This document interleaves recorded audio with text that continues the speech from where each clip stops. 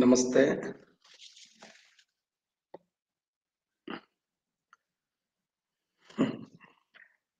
ಇವತ್ತ?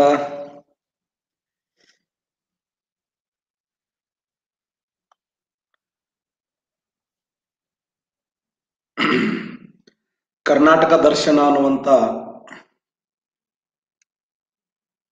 ಹೊಸ ಚಾಪ್ಟರ್ ಅನ್ನ ಇವತ್ತಿನಿಂದ ಸ್ಟಡಿ ಮಾಡೋಣ ಸ್ನೇಹಿತರೆ. ಎಸ್ ಎಸ್ ಎಸ್ ವಿಶೇಷ ಏನು ಅಂತಂದ್ರೆ?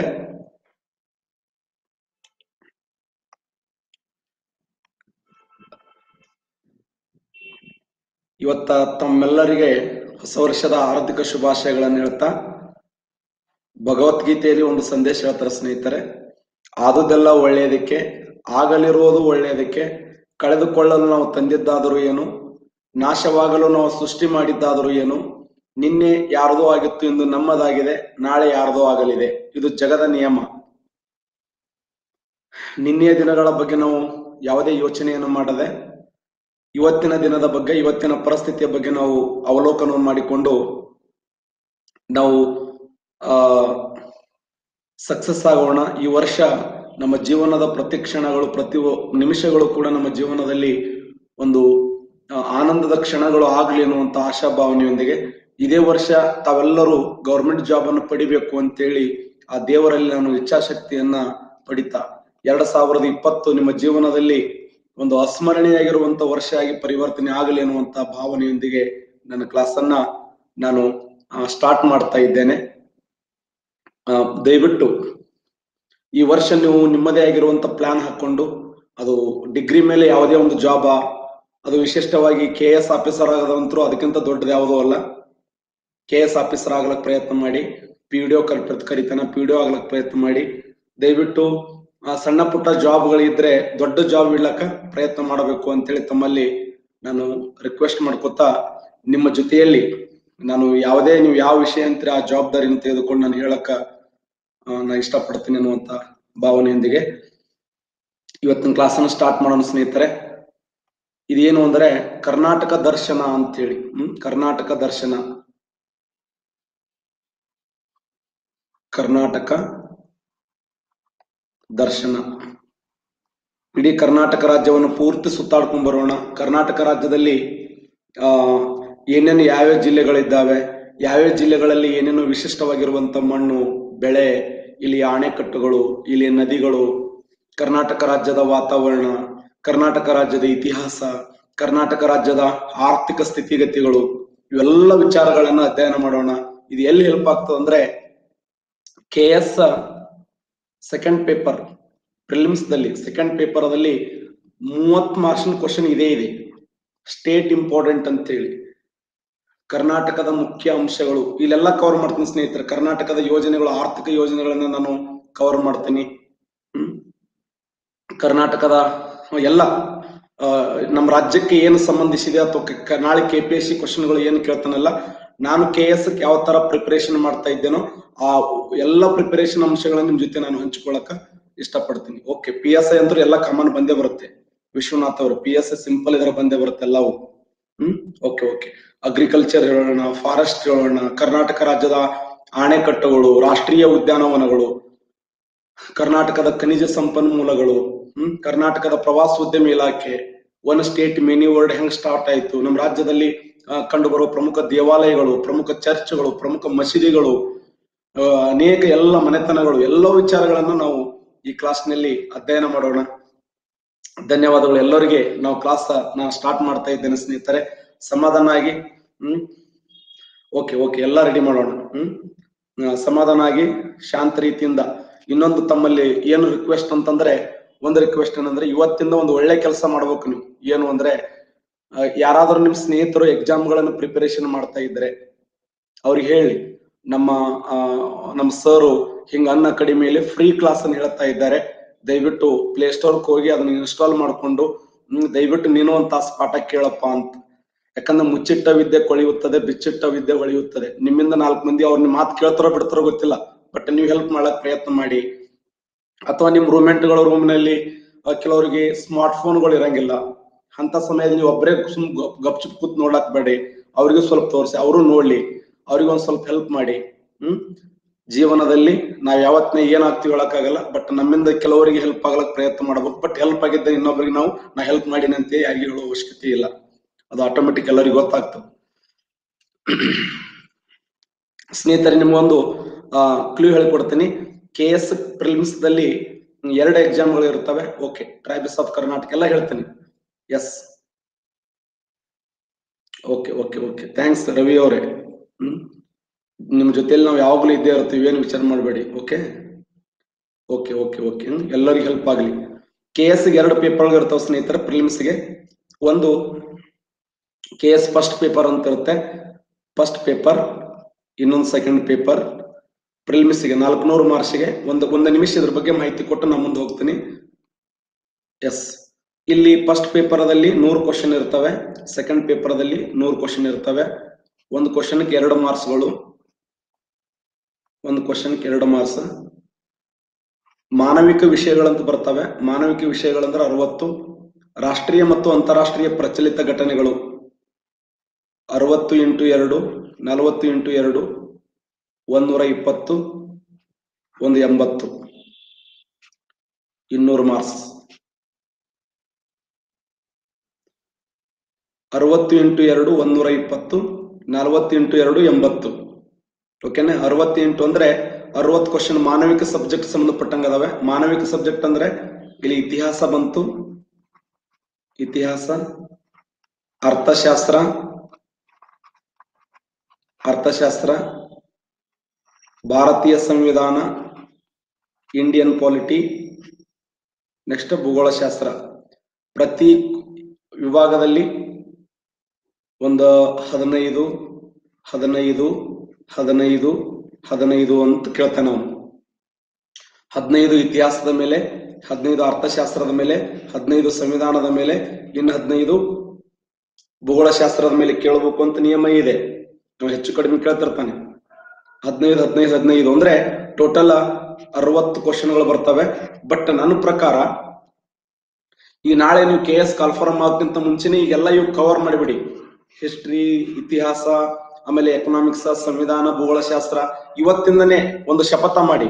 ಇವತ್ತಿಂದ ನಾನು ಓದ್ತೀನಪ್ಪ, ಇವತ್ತಿಂದನೇ ಒಂದು ದಿನಕ್ಕೆ ಐದರಿಂದ ಆರು ತಾಸನ ಟೈಮ್ ಹತ್ತು ಗಂಟೆ. ಜಾಬ್ ಇದ್ದವರು ಕನಿಷ್ಠ ಒಂದು ಆರು ತಾಸು ಹೋದ್ರಿ ಜಾಬ್ ಇಲ್ಲದೆ ಇರುವವರು ಕನಿಷ್ಠ ನೀವು ಒಂದ್ ದಿನಕ್ಕೆ ಪ್ರತಿದಿನ ಓಕೆ ಓಕೆ ಪ್ರತಿದಿನ ಏನು ಇಲ್ಲ ಅಂದ್ರೆ ಐದರಿಂದ ಜಾಬ್ ಇದ್ದವರು.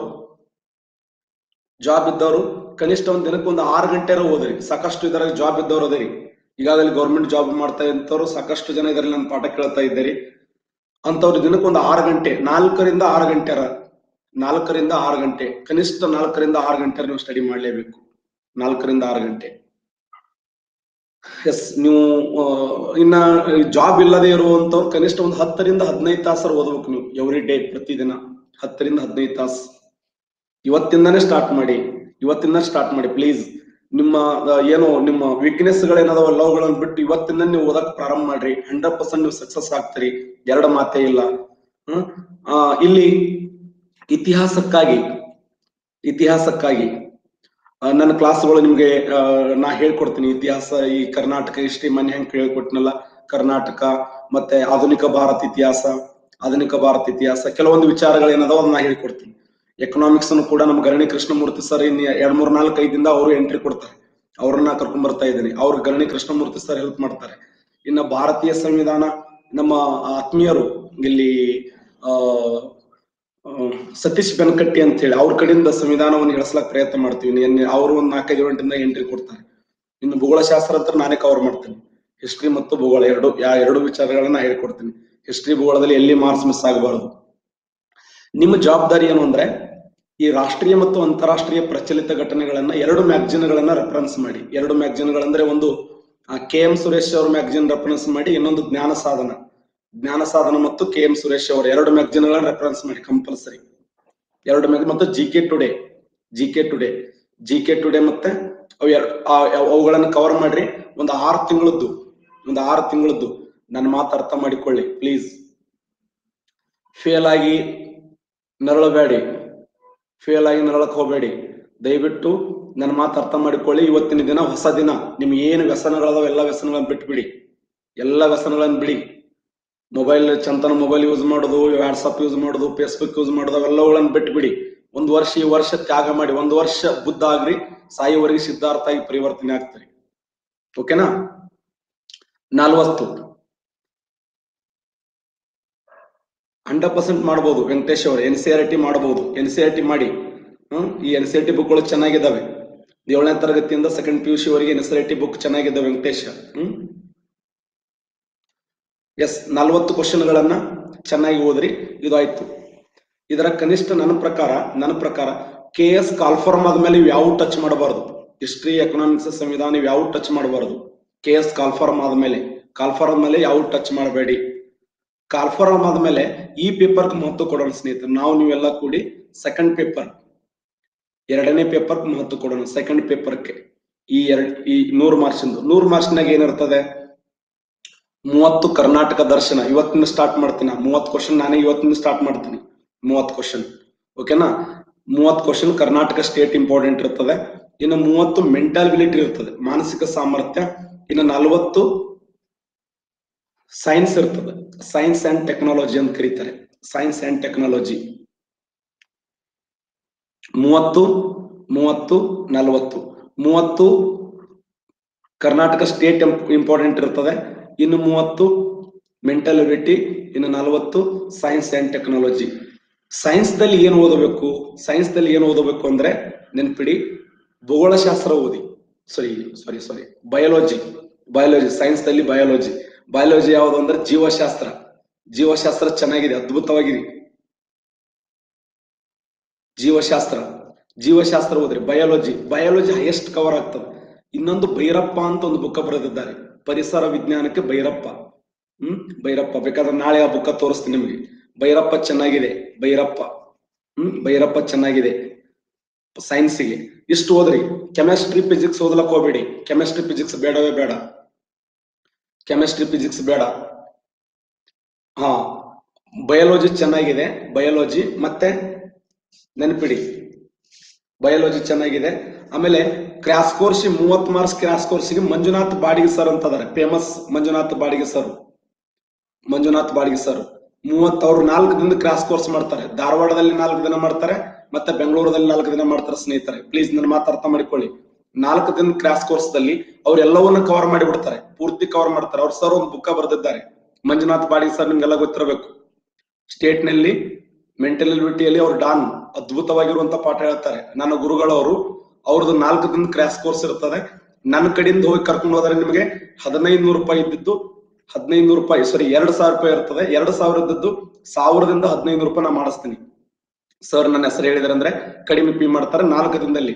ಸರ್ ನಾವು ಬಂಡಾರಿಮಠ್ ಸರ್ ಕಡೆಯಿಂದ ಬಂದೀನಿ ಶ್ರವಣ ಕುಮಾರ್ ಸರ್ ಕಡೆ ಬಂದೀನಿ ಅಂತಂದ್ರೆ ನಿಮಗೆ ನಿಮಗೆ ಸಾವಿರದಿಂದ ಹದಿನೈದು ರೂಪಾಯಿ ನಾನು ಪಿ ಮಾಡಿಸ್ಲಕ್ ಪ್ರಯತ್ನ ಮಾಡ್ತೀನಿ. ಎಂದಾದ್ರೂ ಕ್ರಾಸ್ ಕೋರ್ಸ್ ನಾಲ್ಕು ದಿನ ಕ್ರಾಸ್ ಕೋರ್ಸ್ ಅದು ಅವರು ಸಾಧ್ಯ ಆದ್ರೆ ಬೆಂಗಳೂರಲ್ಲಿ ಅಟೆಂಡ್ ಆಗ್ರಿ. ಇಲ್ಲ ಅಂದ್ರೆ ಇಲ್ಲ ಅಂದ್ರೆ ಧಾರವಾಡದಲ್ಲಿ ಅಟೆಂಡ್ ಆಗ್ರಿ. ಸ್ನೇಹಿತರೆ, ನನ್ನ ಮಾತು ಕೇಳಿ. ನಾಲ್ಕು ದಿನ ಕ್ರಾಸ್ ಕೋರ್ಸ್ ಇನ್ನು ಮೂವತ್ತಂತರು ನಾ ಇವತ್ತಿಂದ ಸ್ಟಾರ್ಟ್ ಮಾಡ್ತೀನಿ. ಮೂವತ್ ಮಾರ್ಚಿಂದು ಇವತ್ತು ಕರ್ನಾಟಕ ದರ್ಶನ ಅಂತ ಏನದೆಯಲ್ಲ, ಅನ್ನ ಕಡಿಮೆಯಲ್ಲಿ ಇವತ್ತಿಂದನೇ, ನಿಮ್ಗೆ ನಾನು ಇವತ್ತಿಂದ ಸ್ಟಾರ್ಟ್ ಮಾಡ್ತಾ ಇದ್ದೇನೆ. ಓಕೆನಾ? ನನ್ನ ಮಾತು ಅರ್ಥ ಆಯ್ತಾ? ಹ್ಮ್, ಇದು ಮಾತು. ಆಮೇಲೆ ಇದು ಬಯಾಲಜಿ ಯಾವ್ದು ಓದಬೇಕು ಅಂದ್ರೆ ಇವ್ರ ಬುಕ್ ಬುಕ್ ಚೆನ್ನಾಗಿ ಬರೆದಿದ್ದಾರೆ. ಯಾರು? ವಿ ಆರ್ ಎಸ್ ಅಂತೇಳಿ ವಿ ಆರ್ ಎಸ್. ವೆಂಕಟರಮಣ ಅಂತೇಳಿ ಚೆನ್ನಾಗಿ ಬರೆದಾರೆ ಬುಕ್ ಆ ವಿ ಆರ್ ಎಸ್ ಬುಕ್ ಅನ್ನ ಚೆನ್ನಾಗಿ ಬರೆದಿದ್ದಾರೆ. ಆ ಬುಕ್ ರೆಫರೆನ್ಸ್ ಮಾಡಿ. V R S. ವೆಂಕಟರಮಣ ಅಂತೇಳಿ ಬಹಳ ಅದ್ಭುತ ಬಯಾಲಜಿ ಚೆನ್ನಾಗಿ ಬರೆದಿದ್ದಾರೆ. ವಿ ಆರ್ ಎಸ್ ಅವರು ಆ ಬುಕ್ಕ ಓದ್ರಿ. ಇನ್ನ ಪರಿಸರ ಅಧ್ಯಯನಕ್ಕೆ ಭೈರಪ್ಪ ಅಂತೇಳಿ. ಎಸ್ ಸ್ಟಾರ್ಟ್ ಮಾಡೋಣ ಕ್ಲಾಸ್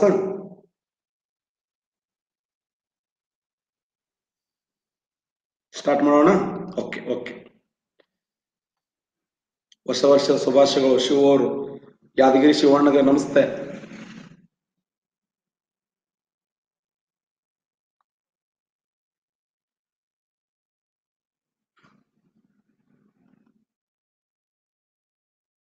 ಕರ್ನಾಟಕ ರಾಜ್ಯ.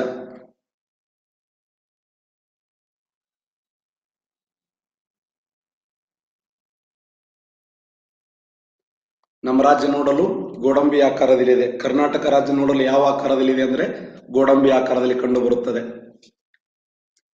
ನಮಸ್ಕಾರ ಮಾಡಬೇಕೆಲ್ಲರೂ ಕರ್ನಾಟಕ ರಾಜ್ಯಕ್ಕೆ. ಜನನಿ ಹಾಗೂ ಜನ್ಮಭೂಮಿ ಸ್ವರ್ಗಕ್ಕಿಂತಲೂ ಮಿಗಿಲಾದದ್ದು.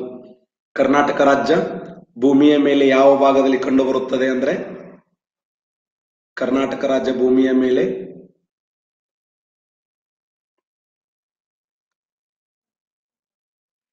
ಕರ್ನಾಟಕ ರಾಜ್ಯ ಉತ್ತರಾರ್ಧಗೋಳದ ಪೂರ್ವ ಭಾಗದಲ್ಲಿ, ಈ ಭಾಗದಲ್ಲಿ ಹಂಚಿಕೆಯಾಗಿದೆ. ನಮ್ಮ ರಾಜ್ಯ ಎಲ್ಲಿ ಹಂಚಿಕೆಯಾಗಿದೆ ಅಂದ್ರೆ ಉತ್ತರಾರ್ಧಗೋಳದ ಪೂರ್ವ ಭಾಗದಲ್ಲಿ ಹಂಚಿಕೆಯಾಗಿದ್ದು,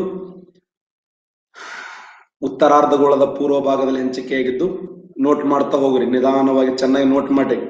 ನೀವು ಏನ್ ಬರಿತೀರಿ ಬರೀರಿ, ಒಟ್ಟು ಬರೀರಿ ಹ್ಯಾಂಡ್ ರೈಟಿಂಗ್ ಇಂಪ್ರೂವ್ಮೆಂಟ್ ಆಗಲಿ ನೀವು ಏನ್ ಬರೀತೀರಿ ಬರೀರಿ ಚೆನ್ನಾಗಿ. ಓಕೆನಾ ಕರ್ನಾಟಕ ರಾಜ್ಯ ಉತ್ತರಾರ್ಧಗೋಳದ ಪೂರ್ವ ಭಾಗದಲ್ಲಿ ಹಂಚಿಕೆಯಾಗಿದೆ. ಇದು ಪೂರ್ವಾರ್ಧ, ಉತ್ತರಾರ್ಧಗೋಳ, ಇದು ಉತ್ತರಾರ್ಧಗೋಳದ ಪೂರ್ವ ಭಾಗ Karnataka located on the earth in northern hemisphere eastern part ಉತ್ತರಾರ್ಧಗೋಳದ ಪೂರ್ವ ಭಾಗದಲ್ಲಿ ನಮ್ಮ ರಾಜ್ಯ ಹಂಚಿಕೆಯಾಗಿದೆ. ಓಕೆನಾ ನಮ್ಮ ರಾಜ್ಯ ಯಾವ್ಯಾವ ಅಕ್ಷಾಂಶಗಳ ಮಧ್ಯೆ ಹಂಚಿಕೆಯಾಗಿದೆ ಅಂದ್ರೆ ಕರ್ನಾಟಕ ರಾಜ್ಯ ಹನ್ನೊಂದು ಪಾಯಿಂಟ್ ಮೂರು ಒಂದು ಉತ್ತರ ಅಕ್ಷಾಂಶಕ್ಕೆ ಆರಂಭ ಆಗಿ ಹದಿನೆಂಟು ಪಾಯಿಂಟ್ ನಾಲ್ಕು ಐದು ಉತ್ತರ ಅಕ್ಷಾಂಶಕ್ಕೆ ಎಂಡ್ ಆಗ್ತದೆ. ಕರ್ನಾಟಕ ರಾಜ್ಯ eleven point three one north latitude to eighteen point four five north latitude ಹನ್ನೊಂದು ಪಾಯಿಂಟ್ ಮೂರು ಒಂದು ಉತ್ತರ ಅಕ್ಷಾಂಶಕ್ಕೆ ಆರಂಭ ಆಗಿ ಹದಿನೆಂಟು ಪಾಯಿಂಟ್ ನಾಲ್ಕು ಐದು ಉತ್ತರ ಅಕ್ಷಾಂಶಕ್ಕೆ ಎಂಡ್ ಆಗುತ್ತದೆ. ಕರ್ನಾಟಕ ರಾಜ್ಯ ಯಾವ್ಯಾವ ಅಕ್ಷಾಂಶಗಳ ಮಧ್ಯೆ ಅಂದ್ರೆ ಹನ್ನೊಂದು ಪಾಯಿಂಟ್ ಮೂರು ಒಂದು ಉತ್ತರ ಅಕ್ಷಾಂಶಕ್ಕೆ ಆರಂಭ ಆಗಿ ಹದಿನೆಂಟು ಪಾಯಿಂಟ್ ನಾಲ್ಕು ಐದು ಉತ್ತರ ಅಕ್ಷಾಂಶಕ್ಕೆ ಎಂಡ್ ಆಗ್ತದ. ಅರ್ಥ ಆಗ್ತಾ ಇದೆ ನನ್ನ ಮಾತು? ಕೇಳಿಸ್ತಾ ಇದೆಯಾ? ಓಕೆ ಓಕೆ ಓಕೆ ಇಂಥ ನಮ್ಮ ಕರ್ನಾಟಕ ರಾಜ್ಯವನ್ನ ನೋಡಿ, ಹನ್ನೊಂದು ಪಾಯಿಂಟ್ ಮೂರು ಒಂದಕ್ಕೆ ಸ್ಟಾರ್ಟ್ ಆಗಿ ಹದಿನೆಂಟು ಪಾಯಿಂಟ್ ನಾಲ್ಕು ಐದಕ್ಕೆ ಎಂಡ್ ಆಗ್ತದೆ. ಯಾಕೆ ಉತ್ತರ ಅಕ್ಷಾಂಶ ಅಂತ ಕರಿಬೇಕು ಅಂದ್ರ, ನೋಡಿ, ಭೂಮಿಯ ಮೇಲೆ ಸ್ಥಳ ನಿರ್ಧಾರ ಮಾಡಲು ಪಶ್ಚಿಮದಿಂದ ಪೂರ್ವಕ್ಕೆ ಎಳೆದ ಕಾಲ್ಪನಿಕ ರೇಖೆಗೆ ಅಕ್ಷಾಂಶ ಅಂತ ಕರಿತೀವಿ. ಕೇಳಿ, ಪಾಠ ಕೇಳಿ. ಭೂಮಿಯ ಮೇಲೆ ಭೂಮಿಯ ಮೇಲೆ ಸ್ಥಳ ನಿರ್ಧಾರ ಮಾಡಲು ಪಶ್ಚಿಮದಿಂದ ಪೂರ್ವ ಕೇಳದ ಕಾಲ್ಪನಿಕ ರೇಖೆಗೆ ಅಕ್ಷಾಂಶ ಅಂತ ಕರಿತೀವಿ. ಪಶ್ಚಿಮದಿಂದ ಪೂರ್ವ ಕೇಳಿದ ಕಾಲ್ಪನಿಕ ರೇಖೆಗೆ ಅಕ್ಷಾಂಶ ಅಂತ ಕರಿತೀವಿ. ಅಕ್ಷಾಂಶದ ಉದ್ದೇಶ ಏನಂದ್ರೆ ಸ್ಥಳ ನಿರ್ಧಾರ ಮಾಡೋದು. ಭೂಮಿಯ ಮೇಲೆ ಎರಡು ಸ್ಥಳಗಳ ನಿರ್ಧಾರ ಮಾಡಲು ಪಶ್ಚಿಮದಿಂದ ಪೂರ್ವ ಕೇಳಿದ ಕಾಲ್ಪನಿಕ ರೇಖೆಗೆ ಅಕ್ಷಾಂಶ ಅಂತ ಕರಿತೀವಿ. ಹಾಗಾದ್ರೆ ಸ್ನೇಹಿತರೆ, ಇದು ಜೀರೋ ಡಿಗ್ರಿ ಅಕ್ಷಾಂಶ. ಜೀರೋ ಡಿಗ್ರಿ ಅಕ್ಷಾಂಶ ಅಂದ್ರೂ ಒಂದೇ ಸಮಭಾಜಕ ವೃತ್ತ ಅಂದ್ರೂ ಒಂದೇ, ಭೂಮಧ್ಯ ರೇಖೆ ಅಂದ್ರೂ ಒಂದೇ, ಥರ್ಮಲ್ ಇಕ್ವೇಟಾರ್ ಅಂದ್ರೂ ಒಂದೇ. ಇಲ್ಲಿಂದ ಕರ್ನಾಟಕ ರಾಜ್ಯ ಉತ್ತರದಲ್ಲಿ ತೊಂಬತ್ತು ಅಕ್ಷಾಂಶಗಳಿವೆ, ದಕ್ಷಿಣದಲ್ಲಿ ತೊಂಬತ್ತು ಅಕ್ಷಾಂಶಗಳು ಕಂಡು ಬರ್ತವೆ ಉತ್ತರದಲ್ಲಿ ತೊಂಬತ್ತು ಅಕ್ಷಾಂಶಗಳು, ದಕ್ಷಿಣದಲ್ಲಿ ತೊಂಬತ್ತು ಅಕ್ಷಾಂಶಗಳು. ಹೌದಾ? ನೋಡಿ, ಇದಕ್ಕೂ ಒಂದು ಉತ್ತರ ಅಕ್ಷಾಂಶ ಅಂತ ಕರಿಬೇಕು. ಎರಡು ಉತ್ತರಾಕ್ಷಾಂಶ, ಮೂರು ಉತ್ತರಾಕ್ಷಾಂಶ, ನಾಲ್ಕು ಉತ್ತರಾಕ್ಷಾಂಶ. ಜಾವಿದ್ ಅವರೇ ರಿಪೀಟ್ ಪ್ಲೀಸ್ ಅಂತ. ಓಕೆ ಓಕೆ ಕರ್ನಾಟಕ ಯಾವ್ಯಾವ ಅಕ್ಷಾಂಶಗಳ ಮಧ್ಯೆ ಹಂಚಿಕೆಯಾಗಿದೆ ಅಂತ ಹೇಳ್ತಾ ಇದ್ದೇನೆ. ಸಮಾಧಾನ ಕೇಳಿ. ಇವತ್ತಿಂದನರ ಉದ್ಧಾರ ಆಗ್ರಿ. ಒಂದ್ ತಾಸ್ ಚಂದ ಪಾಠ ಕೇಳಿ. ಎಲ್ಲಿ ಏನು, ಯಾವ ಜಗತ್ತೇನು ಹೋಗಲ್ಲ. ಆರಾಮ್ ಕುಂತ ಪಾಠ ಕೇಳಿ. ನಿಮ್ ಮನೆ ಬರ. ಹ್ಮ್? ಇವತ್ತು ಹೊಸ ವರ್ಷದ ಏನು ಬೇಯಂಗಿಲ್ಲ. ಸಮಾಧಾನಾಗಿ ಪಾಠ ಕೇಳಿ. ಭೂಮಿಯ ಮೇಲೆ ಸ್ಥಳ ನಿರ್ಧಾರ ಮಾಡಲು ಪಶ್ಚಿಮದಿಂದ ಪೂರ್ವಕ್ಕೆ ಎಳೆದ ಕಾಲ್ಪನಿಕ ರೇಖೆಗೆ ಅಕ್ಷಾಂಶ ಅಂತ ಕರಿತೀವಿ. ಉತ್ತರದಲ್ಲಿ ತೊಂಬತ್ತು ಅಕ್ಷಾಂಶಗಳಿವೆ, ದಕ್ಷಿಣದಲ್ಲಿ ತೊಂಬತ್ತು ಅಕ್ಷಾಂಶಗಳಿವೆ. ಹಾಗಾದ್ರೆ ಉತ್ತರದ ತೊಂಬತ್ತು ಅಕ್ಷಾಂಶಗಳಲ್ಲಿ ಒಂದು ಒಂದು ಉತ್ತರದ ಅಕ್ಷಾಂಶ, ಎರಡು ಉತ್ತರದ ಅಕ್ಷಾಂಶ, ಮೂರು, ನಾಲ್ಕು, ಐದು. ಹಾಗಾದ್ರೆ ನಮ್ಮ ಕರ್ನಾಟಕ ಆರಂಭ ಆಗದ ಎಲ್ಲಿಗೆ ಅಂದ್ರ ಹನ್ನೊಂದು ಪಾಯಿಂಟ್ ಮೂರು ಒಂದು, ಹನ್ನೊಂದು ಪಾಯಿಂಟ್ ಮೂರು ಒಂದು. ಹನ್ನೊಂದು ಪಾಯಿಂಟ್ ಮೂರು ಒಂದಕ್ಕೆ ಆರಂಭ ಆಗಿ ಹನ್ನೊಂದು ಪಾಯಿಂಟ್ ಮೂರು ಒಂದು ಎಲ್ಲಿದೆ ಅಂದ್ರೆ ಚಾಮರಾಜನಗರದ ಗುಂಡ್ಲುಪೇಟೆಯ ಗುಂಡ್ಲುಪೇಟೆಯ ಮೊಯಾರ. ಚಾಮರಾಜನಗರದ ಗುಂಡ್ಲುಪೇಟೆಯ ಮೊಯಾರ. ಚಾಮರಾಜನಗರದ ಗುಂಡ್ಲುಪೇಟೆಯ ಮೊಯಾರ. ಹನ್ನೊಂದು ಪಾಯಿಂಟ್ ಮೂರು ಒಂದು. ಹನ್ನೆರಡು ಎಲ್ಲಿ ಅಂದ್ರೆ ಚಾಮರಾಜನಗರ. ಚಾಮರಾಜನಗರ ಹನ್ನೆರಡು. ಹದಿಮೂರು ಎಲ್ಲಿ ಅಂದ್ರೆ ಮಂಗಳೂರು ಮಂಗಳೂರು, ಬೆಂಗಳೂರು, ಚೆನ್ನೈ. ಮಂಗಳೂರು, ಬೆಂಗಳೂರು, ಚೆನ್ನೈಗಳ ಮೇಲೆ ಹಾದು ಹೋಗುತ್ತದೆ. ಹದಿಮೂರು ಉತ್ತರ ಅಕ್ಷಾಂಶ ಹದಿಮೂರು, ಇದು ಬಹಳ ಸರಿ ಕ್ವಶನ್ ಆಗಿದೆ ಸ್ನೇಹಿತರೆ. ಮಂಗಳೂರು, ಬೆಂಗಳೂರುಗಳ ಮೇಲೆ ಹಾದು ಹೋದ ಅಕ್ಷಾಂಶ ಯಾವುದಂದ್ರ? ಹದಿಮೂರು ಉತ್ತರ ಅಕ್ಷಾಂಶ ಮಂಗಳೂರು, ಬೆಂಗಳೂರು, ಚೆನ್ನೈ. ಹದಿನಾಲ್ಕು ಹದಿನಾಲ್ಕು ಶಿವಮೊಗ್ಗ ಜಿಲ್ಲೆ. ಶಿವಮೊಗ್ಗ ಜಿಲ್ಲೆಯ ಮೇಲೆ ಹದಿನಾಲ್ಕು ಉತ್ತರಾಕ್ಷಾಂಶ ಶಿವಮೊಗ್ಗ ಶಿವಮೊಗ್ಗ. ಇನ್ನು ಹದಿನೈದು ಹದಿನೈದು. ಉತ್ತರ ಕನ್ನಡದ ಉತ್ತರ ಕನ್ನಡದ ಕಾರವಾರ ಕಾರವಾರ. ಉತ್ತರ ಕನ್ನಡದ ಕಾರವಾರದ ಮೇಲೆ ಹದಿನೈದು ಹದಿನೈದು. ಹದಿನಾರು ಹದಿನಾರು, ಬೆಳಗಾವಿ ಬೆಳಗಾವಿ. ಹದಿನೈದು, ಬೆಳಗಾವಿ. ಸರಿ, ಹದಿನಾರು, ಬೆಳಗಾವಿ. ಹದಿನೇಳು ಹದಿನೇಳು ವಿಜಯಪುರ.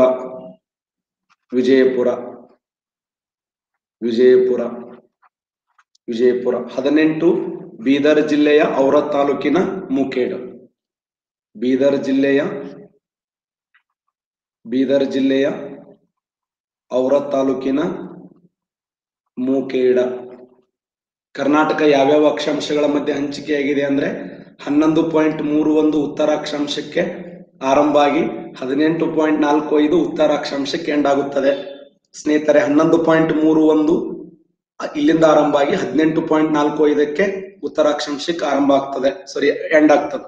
ಕರ್ನಾಟಕ ಯಾವ್ಯಾವ ಅಕ್ಷಾಂಶಗಳ ಮಧ್ಯೆ ಹಂಚಿಕೆಯಾಗಿದೆ ಅಂದ್ರೆ eleven point three one north latitude to eighteen point four five north latitude ಓಕೆನಾ ಹನ್ನೊಂದು, ಹನ್ನೆರಡು. ಹನ್ನೆರಡು ಎಲ್ಲಂದ್ರ ಚಾಮರಾಜನಗರ. ಹದಿಮೂರು ಮಂಗಳೂರು, ಬೆಂಗಳೂರು, ಹದಿನಾಲ್ಕು, ಶಿವಮೊಗ್ಗ, ಹದಿನೈದು, ಉತ್ತರ ಕನ್ನಡದ ಕಾರವಾರ, ಹದಿನಾರು ಹದಿನಾರು, ಬೆಳಗಾವಿ, ಹದಿನೇಳು, ವಿಜಯಪುರ, ಹದಿನೆಂಟು, ಬೀದರ್ ಜಿಲ್ಲೆ ಅವರ ತಾಲೂಕಿನ ಮುಖೇಡ ಕೇಳಕತ್ತೀರಿ? Okay okay.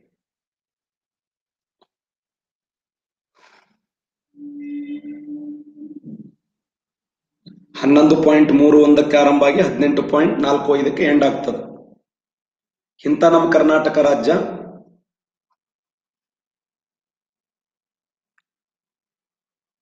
ನಮ್ಮ ರಾಜ್ಯ ನೋಡಲು ಗೋಡಂಬಿ ಆಕಾರದಲ್ಲಿದ್ದು.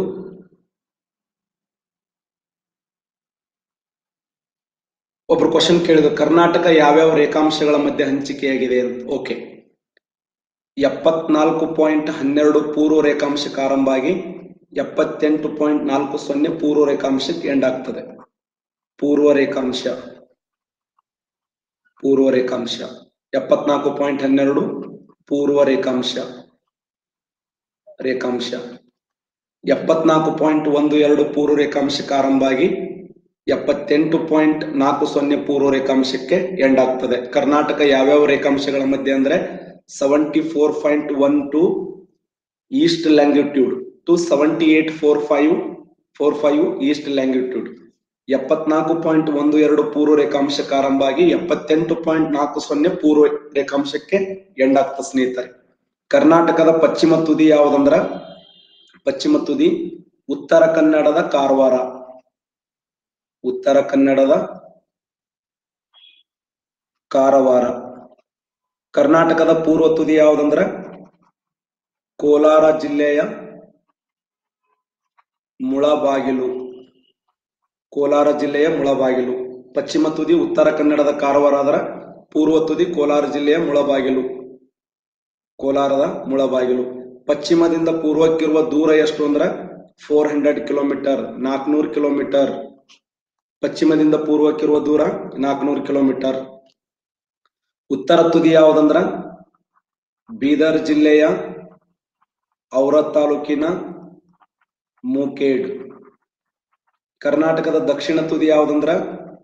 ಚಾಮರಾಜನಗರದ, ಗುಂಡ್ಲುಪೇಟೆಯ, ಮೊಯಾರ.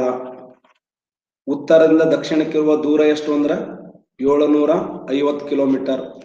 ಉತ್ತರದಿಂದ ದಕ್ಷಿಣಕ್ಕೆ ಏಳುನೂರ ಐವತ್ತಿದ್ರೆ ಪಶ್ಚಿಮದಿಂದ ಪೂರ್ವ ನಾಲ್ಕುನೂರು ಕಿಲೋಮೀಟರ್. ಉತ್ತರದಿಂದ ದಕ್ಷಿಣ ಏಳ್ನೂರ ಐವತ್ತು, ಪಶ್ಚಿಮದಿಂದ ಪೂರ್ವ ನಾಲ್ಕುನೂರು ಕಿಲೋಮೀಟರ್. ಕೇಳಿಸ್ತಾ ಇದೆಯಾ?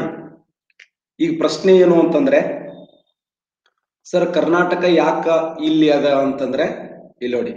ಇದು ಜೀರೋ ಡಿಗ್ರಿ ರೇಖಾಂಶ ಸ್ನೇಹಿತರೆ. Zero degree ರೇಖಾಂಶ. ರೇಖಾಂಶ ಅಂದ್ರೆ ಏನು? ಭೂಮಿಯ ಮೇಲೆ ಸಮಯ ನಿರ್ಧಾರ ಮಾಡಲು ಉತ್ತರದಿಂದ ದಕ್ಷಿಣ ಕೆಳದ ಕಾಲ್ಪನಿಕ ರೇಖೆಗೆ ರೇಖಾಂಶ ಅಂತ ಕರಿತೀವಿ. ಭೂಮಿಯ ಮೇಲೆ ಸಮಯ ನಿರ್ಧಾರ ಮಾಡಲು. ಆ ಎರಡು ದಿನಾಂಕವನ್ನು ನಿರ್ಧಾರ ಮಾಡಲು ಉತ್ತರದಿಂದ ದಕ್ಷಿಣ ಕೆಳದ ಕಾಲ್ಪನಿಕ ರೇಖೆಗೆ ರೇಖಾಂಶ ಅಂತ ಕರಿತೀವಿ. ರೇಖಾಂಶ, ಸಮಯ ನಿರ್ಧಾರ ಮಾಡಲು.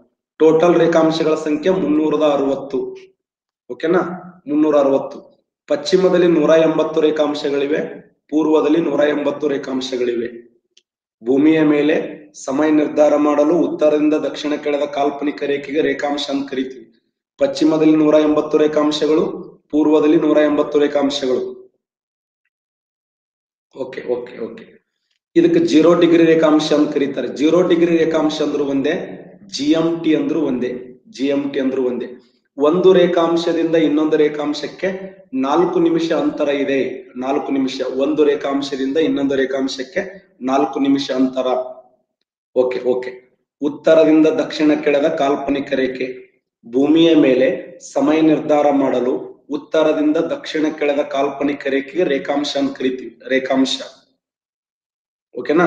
ಟೋಟಲ್ ರೇಖಾಂಶಗಳ ಸಂಖ್ಯೆ ಎಷ್ಟಂದ್ರೆ ಮುನ್ನೂರದ ಅರವತ್ತು ಮುನ್ನೂರ ಅರವತ್ತು ಮಾಲಾಶ್ರೀ ಅವರೇ ಒಂದೂರ ಹನ್ನೊಂದು ಕಿಲೋಮೀಟರ್ ಏನು ಅಂದ್ರೆ ಒಂದು ಅಕ್ಷಾಂಶದಿಂದ ಇನ್ನೊಂದು ಅಕ್ಷಾಂಶಕ್ಕೆ ಇರುವಂತ ಅಂತರ ಅದು.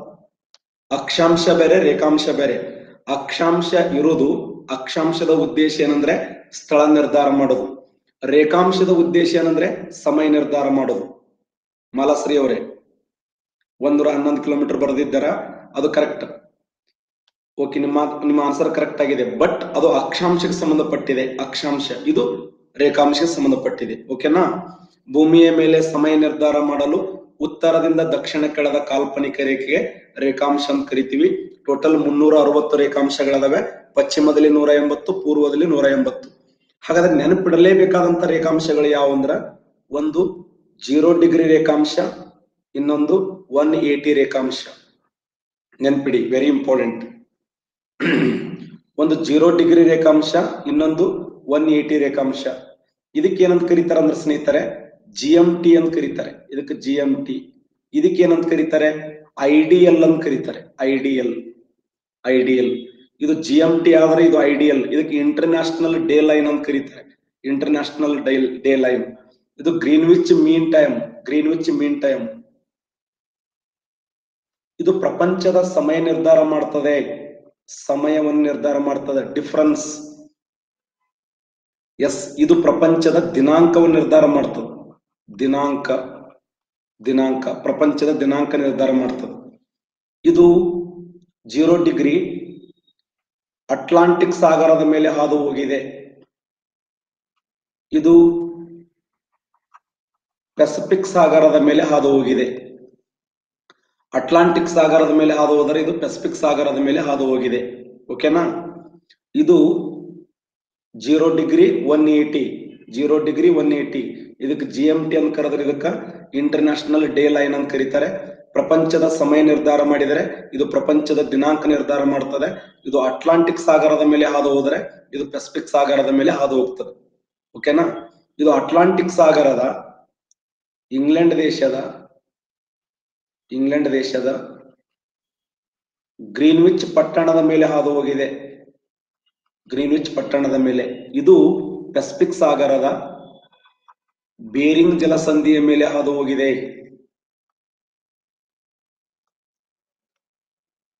ಸಮಯ ನಿರ್ಧಾರ ಮಾಡುತ್ತದೆ. ಇದು ದಿನಾಂಕ ನಿರ್ಧಾರ ಮಾಡುತ್ತದೆ. ಇದು ಅಟ್ಲಾಂಟಿಕ್ ಸಾಗರದ ಮೇಲೆ ಹಾದು ಹೋಗಿದೆ ಇದು ಪೆಸಿಫಿಕ್ ಸಾಗರದ ಮೇಲೆ ಹಾದು ಹೋಗಿದೆ ಇದು ಇಂಗ್ಲೆಂಡ್ ದೇಶದ ಗ್ರೀನ್ವಿಚ್ ಪಟ್ಟಣದ ಮೇಲೆ ಹಾದು ಹೋಗಿದೆ ಇದು ಬೇರಿಂಗ್ ಜಲಸಂಧಿಯ ಮೇಲೆ ಹಾದು ಹೋಗಿದೆ ಅರ್ಥ ಆಗ್ತಾ ಇದೆಯಾ? ಭೂಮಿಯ ಮೇಲೆ ಒಟ್ಟು ಅಕ್ಷಾಂಶಗಳ ಸಂಖ್ಯೆ ಎಷ್ಟು? ನೂರ ಎಂಬತ್ತು ಪ್ಲಸ್ ಜೀರೋ.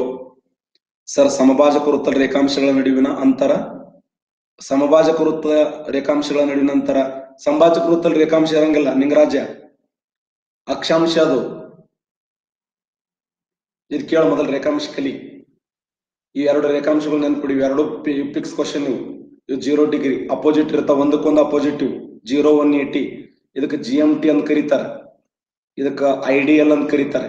ಇದು ಪ್ರಪಂಚದ ಸಮಯ ನಿರ್ಧಾರ ಮಾಡ್ತದೆ. ಇದು ಪ್ರಪಂಚದ ದಿನಾಂಕ ನಿರ್ಧಾರ ಮಾಡ್ತದೆ. ಇದು ಅಟ್ಲಾಂಟಿಕ್ ಸಾಗರದ ಮೇಲೆ ಹಾದು ಹೋಗಿದೆ. ಇದು ಪೆಸಿಫಿಕ್ ಸಾಗರದ ಮೇಲೆ ಹಾದು ಹೋಗಿದೆ ಇದು ಇಂಗ್ಲೆಂಡ್ ದೇಶದ ಗ್ರೀನ್ವಿಚ್ ಪಟ್ಟಣದ ಮೇಲೆ ಹಾದು ಹೋಗಿದೆ ಇದು ಬೇರಿಂಗ್ ಜಲಸಂಧಿಯ ಮೇಲೆ ಹಾದು ಹೋಗಿದೆ ಎಸ್ ಒನ್ ಏಟಿ ಯಾಕೆ ಜಿಗ್ಜಾಗ್ ಆಗಿ ರಚನೆ ಆಗಿದೆ ಅಂತ? ವೆರಿ ಗುಡ್ ಒಳ್ಳೆ ಪ್ರಶ್ನೆ. ಹೇಳ್ತೇನೆ ಕವಿತಾ ಅವರೇ. ಸಮಯ, ಇದು ದಿನಾಂಕ, ಇದು ಅಟ್ಲಾಂಟಿಕ್ ಸಾಗರದ ಮೇಲೆ ಹಾದು ಹೋಗಿದೆ ಇದು ಪೆಸಿಫಿಕ್ ಸಾಗರದ ಮೇಲೆ ಹಾದು ಹೋಗಿದೆ ಇಂಗ್ಲೆಂಡ್ ದೇಶದ ಗ್ರೀನ್ವಿಚ್ ಪಟ್ಟಣದ ಮೇಲೆ ಹಾದು ಹೋಗಿದೆ ಇದು ಬೇರಿಂಗ್ ಜಲಸಂಧಿಯ ಮೇಲೆ ಹಾದು ಹೋಗಿದೆ ಸಮಾಧಾನ ಕೇಳಿ, ನೀವು ಒಟ್ಟ ಸಮಾಧಾನ ಇಲ್ಲ ನಿಮ್ದು. ದೇವ್ರು ನಿಮ್ಗೆ ಒಟ್ಟ ಸಮಾಧಾನ ಕೊಟ್ಟಿಲ್ಲ. ಸುಮ್ ಕೇಳ್ರಿ, ಪಾಠ ಅಂತ ಮಾಡ್ತೀನಿ ಸುಮ್ ಒಂದ್ ಏನ್ರಿ ಏನ್ರ ಒಟ್ಟ ಎಸ್ ಎಂ ಎಸ್ ಮಾಡ್ತೀರಿ. ಹೇಳ್ತೀನಿ, ಸಮಾಧಾನ ಇರ್ರಿ ಒಂದು. ನಾ ಒಮ್ಮೆ ಒಟ್ಟು ಹೇಳ್ಬಿಡ್ಲೆ, ಎಲ್ಲ ಸೌಕಾಸ ಹೇಳಾಕತ್ತೀನಿ. ಒಟ್ಟ ಸಮಾಧಾನದಿಲ್ಲ ಯಾವ್ದಂತ ನೋಡ್ಲಿ, ಯಾವ್ದಂತ ಹೇಳ ಎಷ್ಟಂತ ಹೇಳಿ. ಸುಮ್ ಕೇಳ್ರಿ, ಸುಮ್ ಸಮಾಧಾನ ಆಗಿ.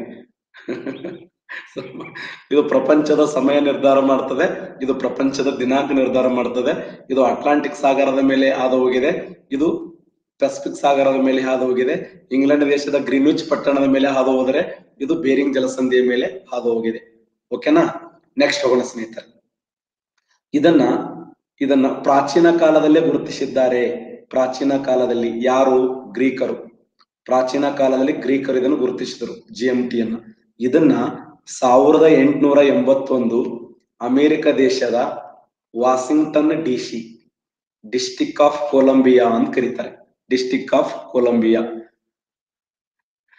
District of Columbia. DC DC ಅಂದ್ರೆ ಏನು? ಡಿಸ್ಟಿಕ್ ಆಫ್ ಕೊಲಂಬಿಯಾ ಅಂತ ಕರಿತೀವಿ. ಹದಿನೆಂಟುನೂರ ಎಂಬತ್ತೊಂದರಾಗ ಇದನ್ನ ರಚನೆ ಮಾಡಿದರು ವಾಷಿಂಗ್ಟನ್ ಡಿಸಿ. ಡಿಸಿ ಅಂದ್ರೆ ಏನು? ಡಿಸ್ಟಿಕ್ ಆಫ್ ಕೊಲಂಬಿಯಾ ಅಂತ ಕರೀತಾರೆ. ಇದು ಇದು ಪ್ರಾಚೀನ ಕಾಲದಲ್ಲಿ ನಿರ್ಧಾರ ಮಾಡಿದ ಸ್ನೇಹಿತರೆ, ಇದನ್ನ ಹದಿನೆಂಟುನೂರ ಎಂಬತ್ತೊಂದರಲ್ಲಿ ಅಮೆರಿಕ ದೇಶದ ವಾಷಿಂಗ್ಟನ್ ಡಿಸಿ ಎಂಬ ಸ್ಥಳದಲ್ಲಿ ಇದನ್ನ ನಿರ್ಧಾರ ಮಾಡ್ತಾರೆ. ಇದು ಜಾಗತಿಕ ಮಟ್ಟಕ್ಕೆ ಸಮಯ ನಿರ್ಧಾರ ಮಾಡಿದರೆ, ಇದು ಪ್ರಪಂಚದಲ್ಲಿ ಇದನ್ನು ದಿನಾಂಕ ನಿರ್ಧಾರ ಮಾಡುತ್ತದೆ ಅಂತ ಕರಿತೀವಿ. ಒಂದಕ್ಕೊಂದು ಅಪೋಸಿಟ್ ಅದಾವೆ. ಇಲ್ಲಿ ನೋಡಿ. ಇದು ಭೂಮಿ.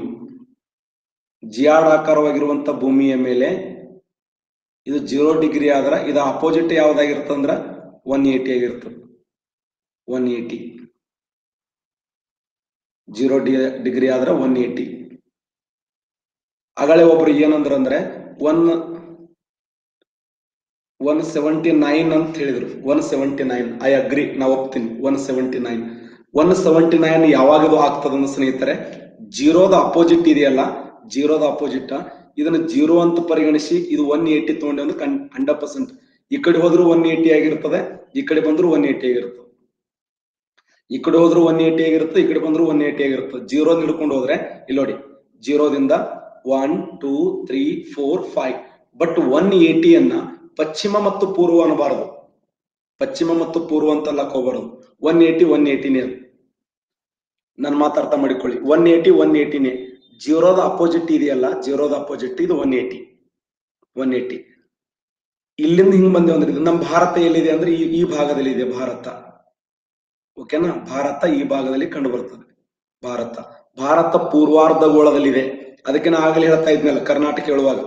ಎಪ್ಪತ್ನಾಲ್ಕು ಪಾಯಿಂಟ್ ಒಂದು ಎರಡು ಪೂರ್ವ ರೇಖಾಂಶಕ್ಕೆ ಆರಂಭ ಆಗಿ ಎಪ್ಪತ್ತೆಂಟು ಪಾಯಿಂಟ್ ನಾಲ್ಕು ಸೊನ್ನೆ ಪೂರ್ವ ರೇಖಾಂಶಕ್ಕೆ ಆರಂಭ ಆಗ್ತದೆ. ಭಾರತ ಯಾವ್ಯಾವ ರೇಖಾಂಶಗಳ ಮಧ್ಯೆ ಅಂದ್ರೆ seventy four point one two east longitude ಆರಂಭ ಆಗಿ seventy four point four zero east ಲ್ಯಾಂಗ್ವಿಟ್ಯೂಡ್ಗೆ end ಆಗ್ತದೆ ಭಾರತ ಎಪ್ಪತ್ನಾಲ್ಕು ಪಾಯಿಂಟ್ ಒಂದು ಎರಡು ಪೂರ್ವ ರೇಖಾಂಶಕ್ಕೆ ಆರಂಭ ಆಗಿ ಎಪ್ಪತ್ತೆಂಟು ಪಾಯಿಂಟ್ ನಾಲ್ಕು ಸೊನ್ನೆ ಪೂರ್ವ ರೇಖಾಂಶಕ್ಕೆ ಆರಂಭ ಆಗ್ತದೆ. ಬಟ್ ಭಾರತ ಭಾರತ ಅರವತ್ತೆಂಟು ಪಾಯಿಂಟ್ ಏಳು ಪೂರ್ವ ರೇಖಾಂಶಕ್ಕೆ ಆರಂಭ ಆಗಿ ತೊಂಬತ್ತೇಳು ಪಾಯಿಂಟ್ ಎರಡು ಐದು ಪೂರ್ವ ರೇಖಾಂಶಕ್ಕೆ ಎಂಡ್ ಆಗ್ತದೆ. ಭಾರತ ಭಾರತ. ಅರವತ್ತೆಂಟು ಪಾಯಿಂಟ್ ಏಳು ಪೂರ್ವ ರೇಖಾಂಶ ಆರಂಭ ಆಗಿ ತೊಂಬತ್ತೇಳು ಪಾಯಿಂಟ್ ಎರಡು ಐದು ಪೂರ್ವ ರೇಖಾಂಶ ಯಾಕೆಂದ್ರೆ ಭಾರತ ಆಗಲಿ ಕರ್ನಾಟಕ ಆಗಲಿ ಪೂರ್ವಾರ್ಧಗೋಳದಲ್ಲಿ ಕಂಡು ಬರ್ತದೆ ಭಾರತ, ಕರ್ನಾಟಕ ಪೂರ್ವಾರ್ಧಗೋಳದಲ್ಲಿ, ಈ ಭಾಗದಲ್ಲಿ ಇದೆ ಭಾರತ. ಆ ಉದ್ದೇಶಕ್ಕಾಗಿ ಪೂರ್ವ ರೇಖಾಂಶನೇ ಇಲ್ಲಿ ನೋಡಿ. ಜೀರೋ ಡಿಗ್ರಿಯಿಂದ ಜಿ ಎಂ ಇಂದ ಒಂದು ಪೂರ್ವ ರೇಖಾಂಶ ಓಕೆನಾ ಎರಡು ಪೂರ್ವ ರೇಖಾಂಶ ಮೂರು ಪೂರ್ವ ರೇಖಾಂಶ ನಾಲ್ಕು, ಐದು, ಆರು, ಏಳು, ಎಂಟು. ಭಾರತ ಆರಂಭ ಆಗೋದು, ಕರ್ನಾಟಕ ಆರಂಭ ಆಗೋದು ಭಾರತ ಅರವತ್ತೆಂಟಕ್ಕೆ ಆರಂಭ ಆಗಿ ತೊಂಬತ್ತೇಳಕ್ಕೆ ಭಾರತ ಎಂಡ್ ಆಗ್ತದೆ ಭಾರತದಲ್ಲಿ ಕರ್ನಾಟಕ ಅಂದ್ರ ಕರ್ನಾಟಕ ಎಪ್ಪತ್ನಾಲ್ಕಕ್ಕೆ ಆರಂಭ ಆಗಿ ಎಪ್ಪತ್ತೆಂಟಕ್ಕೆ ಎಂಡ್ ಆಗ್ತದೆ ಎಪ್ಪತ್ತೆಂಟಕ್ಕೆ ಎಂಡ್ ಆಗ್ತದೆ ಎಪ್ಪತ್ನಾಲ್ಕಕ್ಕೆ ಆರಂಭ ಆಗಿ ಎಪ್ಪತ್ತೆಂಟಕ್ಕೆ ಎಂಡ್ ಆಗುತ್ತದೆ ಓಕೆನಾ?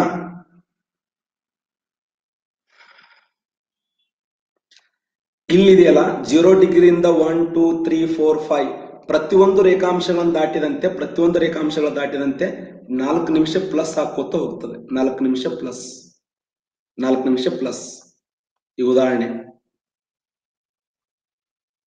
ನಮ್ಮ ಭಾರತ ದೇಶ ಇದೆ. ಹೇಳ್ತೀನಿ, ಎಲ್ಲ ಹೇಳ್ಕೊಡ್ತೀನಿ. ಭಾರತ ದೇಶ ಕಂಡು ಬರ್ತದೆ ಭಾರತ ದೇಶ. ನಮಸ್ಕಾರ ಮಾಡಿ. ಇಂಡಿಯಾ, ಭಾರತ ದೇಶ ಬಂತು.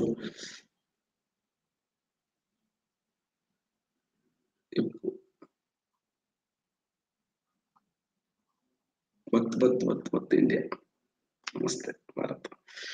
ಭಾರತ ದೇಶ ಅರವತ್ತೆಂಟು ಪಾಯಿಂಟ್ ಏಳಕ್ಕೆ ಆರಂಭ ಆಗಿ ತೊಂಬತ್ತೇಳು ಪಾಯಿಂಟ್ ಎರಡು ಐದು ಪೂರ್ವ ರೇಖಾಂಶಕ್ಕೆ ಎಂಡ್ ಆಗ್ತದೆ. ಭಾರತ ಯಾವ್ಯಾವ ರೇಖಾಂಶಗಳ ಮಧ್ಯೆ ಹಂಚಿಕೆ ಆಗಿದೆ ಅಂದ್ರೆ sixty eight point seven east language to ninety seven point two five ಅರವತ್ತೆಂಟು ಪಾಯಿಂಟ್ ಏಳು ಪೂರ್ವ ರೇಖಾಂಶಕ್ಕೆ ಆರಂಭ ಆಗಿ ತೊಂಬತ್ತೇಳು ಪಾಯಿಂಟ್ ಎರಡು ಐದು ಪೂರ್ವ ರೇಖಾಂಶಕ್ಕೆ ಎಂಡ್ ಆಗ್ತದೆ. ಇವೆರಡರ ಮಧ್ಯದಲ್ಲಿ ಎಂಬತ್ತೆರಡೂವರೆ. ಪೂರ್ವ ರೇಖಾಂಶ ಐದು ರಾಜ್ಯಗಳ ಮೇಲೆ ಹಾದು ಹೋಗಿದೆ ಆ ರಾಜ್ಯಗಳು ಯಾವಂದ್ರೆ Uttar Pradesh Madhya Pradesh Chhattisgarh, Odisha, Andhra Pradesh. UP MP A P Uttar Pradesh Madhya Pradesh Chhattisgarh, Odisha, Andhra Pradesh. ಉತ್ತರ ಪ್ರದೇಶ್ ಮಧ್ಯಪ್ರದೇಶ್ ಛತ್ತೀಸ್ಗಢ ಒಡಿಸ್ಸಾ, ಆಂಧ್ರ ಪ್ರದೇಶ. ಉತ್ತರ ಪ್ರದೇಶದ ಅಲಹಾಬಾದ್ ಆರಂಭ ಆಂಧ್ರ ಪ್ರದೇಶದ ಕಾಕಿನಾಡಕ್ಕೆ ಎಂಡಾಗ್ತದೆ. ಕಾಕಿನಾಡ ಎಂಡಾಗ್ತದೆ. ಉತ್ತರ ಪ್ರದೇಶದ ಅಲಹಾಬಾದ್ನಿಂದ ದಕ್ಷಿಣದಲ್ಲಿ ತಮಿಳುನಾಡಿನೇನು ಆಂಧ್ರ ಪ್ರದೇಶದ ಕಾಕಿನಾಡ ಎಂಡಾಗ್ತದೆ. ಅದಕ್ಕೆ ಇದನ್ನ ಅಲಹಾಬಾದ್ ರೇಖಾಂಶ ಅಂತನೂ ಕರೀತಾರೆ. ಕಾಕಿನಾಡು ರೇಖಾಂಶ ಅಂತನೂ ಕರೀತಾರೆ. ಐ ಎಸ್ ಟಿ ಅಂತನೂ ಕರೀತಾರೆ. ಐ ಎಸ್ ಟಿ ಅಂದ್ರೆ ಏನು? Indian standard time. Indian standard time ಭಾರತದ ಸಮಯ ನಿರ್ಧಾರ ಮಾಡುವಂತ ರೇಖಾಂಶ, ಭಾರತದ ಸಮಯ ನಿರ್ಧಾರ ಮಾಡುವಂತ ರೇಖಾಂಶ ಇಂಡಿಯನ್ ಸ್ಟ್ಯಾಂಡರ್ಡ್ ಟೈಮ್ ಇದು ಇದು ಜಿ ಎಂ ಟಿಗಿಂತ ಜಿ ಎಂ ಟಿಗಿಂತ ಜಿ ಎಂ ಟಿಗಿಂತ ಐದು ಗಂಟೆ ಮೂವತ್ತು ನಿಮಿಷ ಮುಂದೆ ಇರುತ್ತದೆ. I S T is equal to G M T plus ಐದು ಗಂಟೆ ಮೂವತ್ತು ನಿಮಿಷ. I S T Indian standard time is equal to G M T plus ಐದು ಗಂಟೆ ಮೂವತ್ತು ನಿಮಿಷ. ಓಕೆನಾ? ಐದು ಗಂಟೆ ಮೂವತ್ತು ನಿಮಿಷ. ಐದು ಗಂಟೆ ಮೂವತ್ ನಿಮಿಷ ಹೆಂಗಾಗ್ತದೆ? ಸರ್, ಇದು ಎಂಬತ್ತೆರಡುವರೆನೇ ಯಾಕೆ ತೊಗೊಂಡ್ರು? ವೆರಿ ಇಂಪಾರ್ಟೆಂಟ್ ಇದು ಎಂಬತ್ತೆರಡುವರೆನೇ ಯಾಕೆ ತೊಗೊಂಡ್ರ ಅಂದ್ರೆ ಅರವತ್ತೆಂಟು ಪಾಯಿಂಟ್ ಏಳು, ತೊಂಬತ್ತೇಳು ಪಾಯಿಂಟ್ ಎರಡು ಐದು, ಇವೆರಡರ ಮಿಡಲ್ ಪಾಯಿಂಟ್ ಅದು. ಇವೆರಡರ ಮಧ್ಯ ಬಿಂದು ಅದು ಅವೆರಡರ ಮಧ್ಯ. ಈಗ ಉದಾಹರಣೆ ಹೇಳಿ. ಒಂದು, ಎರಡು, ಮೂರು, ನಾಲ್ಕು, ಐದು. ಇದರ ಮಧ್ಯ ಮಧ್ಯ ಪದ ಯಾವುದು? ಹಾ, ಆ ತರ. ಮೂರು ಅಂತ ಹೇಳಿದ್ರಲ್ಲ, ಆ ಅರವತ್ತೆಂಟು ಪಾಯಿಂಟ್ ಏಳು, ತೊಂಬತ್ತೇಳು ಪಾಯಿಂಟ್ ಎರಡು ಐದು. ಎಸ್, ನೀವು ಬಹಳ ಇಂಟೆಲಿಜೆಂಟ್ ಇದ್ರಿ ನನ್ಗೆ ಎರಡು ಮಾತೇ ಇಲ್ಲ. ಕರೆಕ್ಟ್ ಚಂದ ಕರೆಕ್ಟ್ ಹೇಳ್ತಾರೆ ಮೂರು ಅಂತೇಳಿ. ವೆರಿ ಗುಡ್ ಆ ಅರವತ್ತೆಂಟು ಪಾಯಿಂಟ್ ಏಳು ಹಾಗೂ ತೊಂಬತ್ತೇಳು ಪಾಯಿಂಟ್ ಎರಡು ಐದು ಇವೆರಡರ ಮಧ್ಯದಲ್ಲಿ ಯಾವ್ದಿದೆಯಾ ಅಂತಂದ್ರೆ ಅದು ಎಂಬತ್ತೆರಡೂವರಿ ಎಂಬತ್ತೆರಡೂವರಿ ಎಂಬತ್ತೆರಡೂವರಿ ಇದನ್ನ ಭಾರತ ದೇಶದ ಸಮಯ ನಿರ್ಧಾರಕ ರೇಖಾಂಶ ಅಂತ ಕರೀತಾರೆ. ಇಂಡಿಯನ್ ಸ್ಟ್ಯಾಂಡರ್ಡ್ ಟೈಮ್ ಭಾರತ ದೇಶದ ಸಮಯ ನಿರ್ಧಾರಕ ರೇಖಾಂಶ. ಓಕೆನಾ ಓಕೆನಾ ಹಾಗಾದ್ರೆ ಎಂಬತ್, ಐದು ಗಂಟೆ ಮೂವತ್ತು ನಿಮಿಷ ಹೇಗೆ? ಹೌದಾ? ಓಕೆ ಎಂಬತ್ತು ಪ್ಲಸ್ ಎರಡು ಪ್ಲಸ್ ಅರ್ಧ.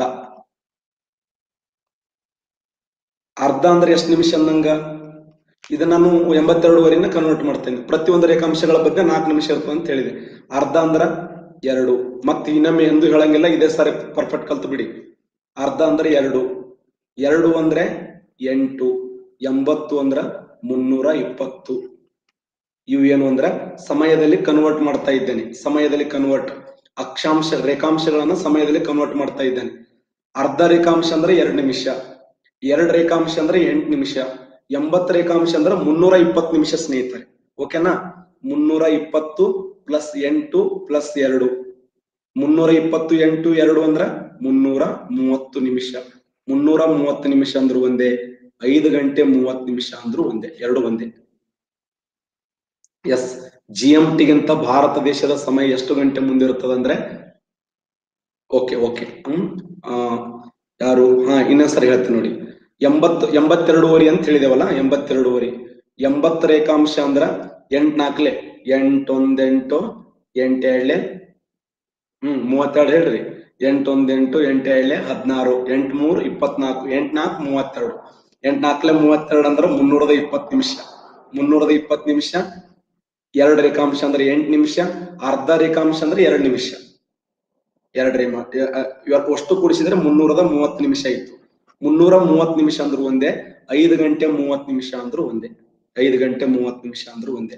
ಮುನ್ನೂರ ಮೂವತ್ತಕ್ಕಿರುವಂತ ಇನ್ನೊಂದು ಐದು ಗಂಟೆ ಮೂವತ್ತು ನಿಮಿಷ. ಹಾಗಾದ್ರೆ I S T G M ಟಿಗಿಂತ ಎಷ್ಟು ಗಂಟೆ ಮುಂದಿರುತ್ತದೆ ಅಂದ್ರೆ ಐದು ಗಂಟೆ ಮೂವತ್ತು ನಿಮಿಷ ಮುಂದಿರುತ್ತದೆ.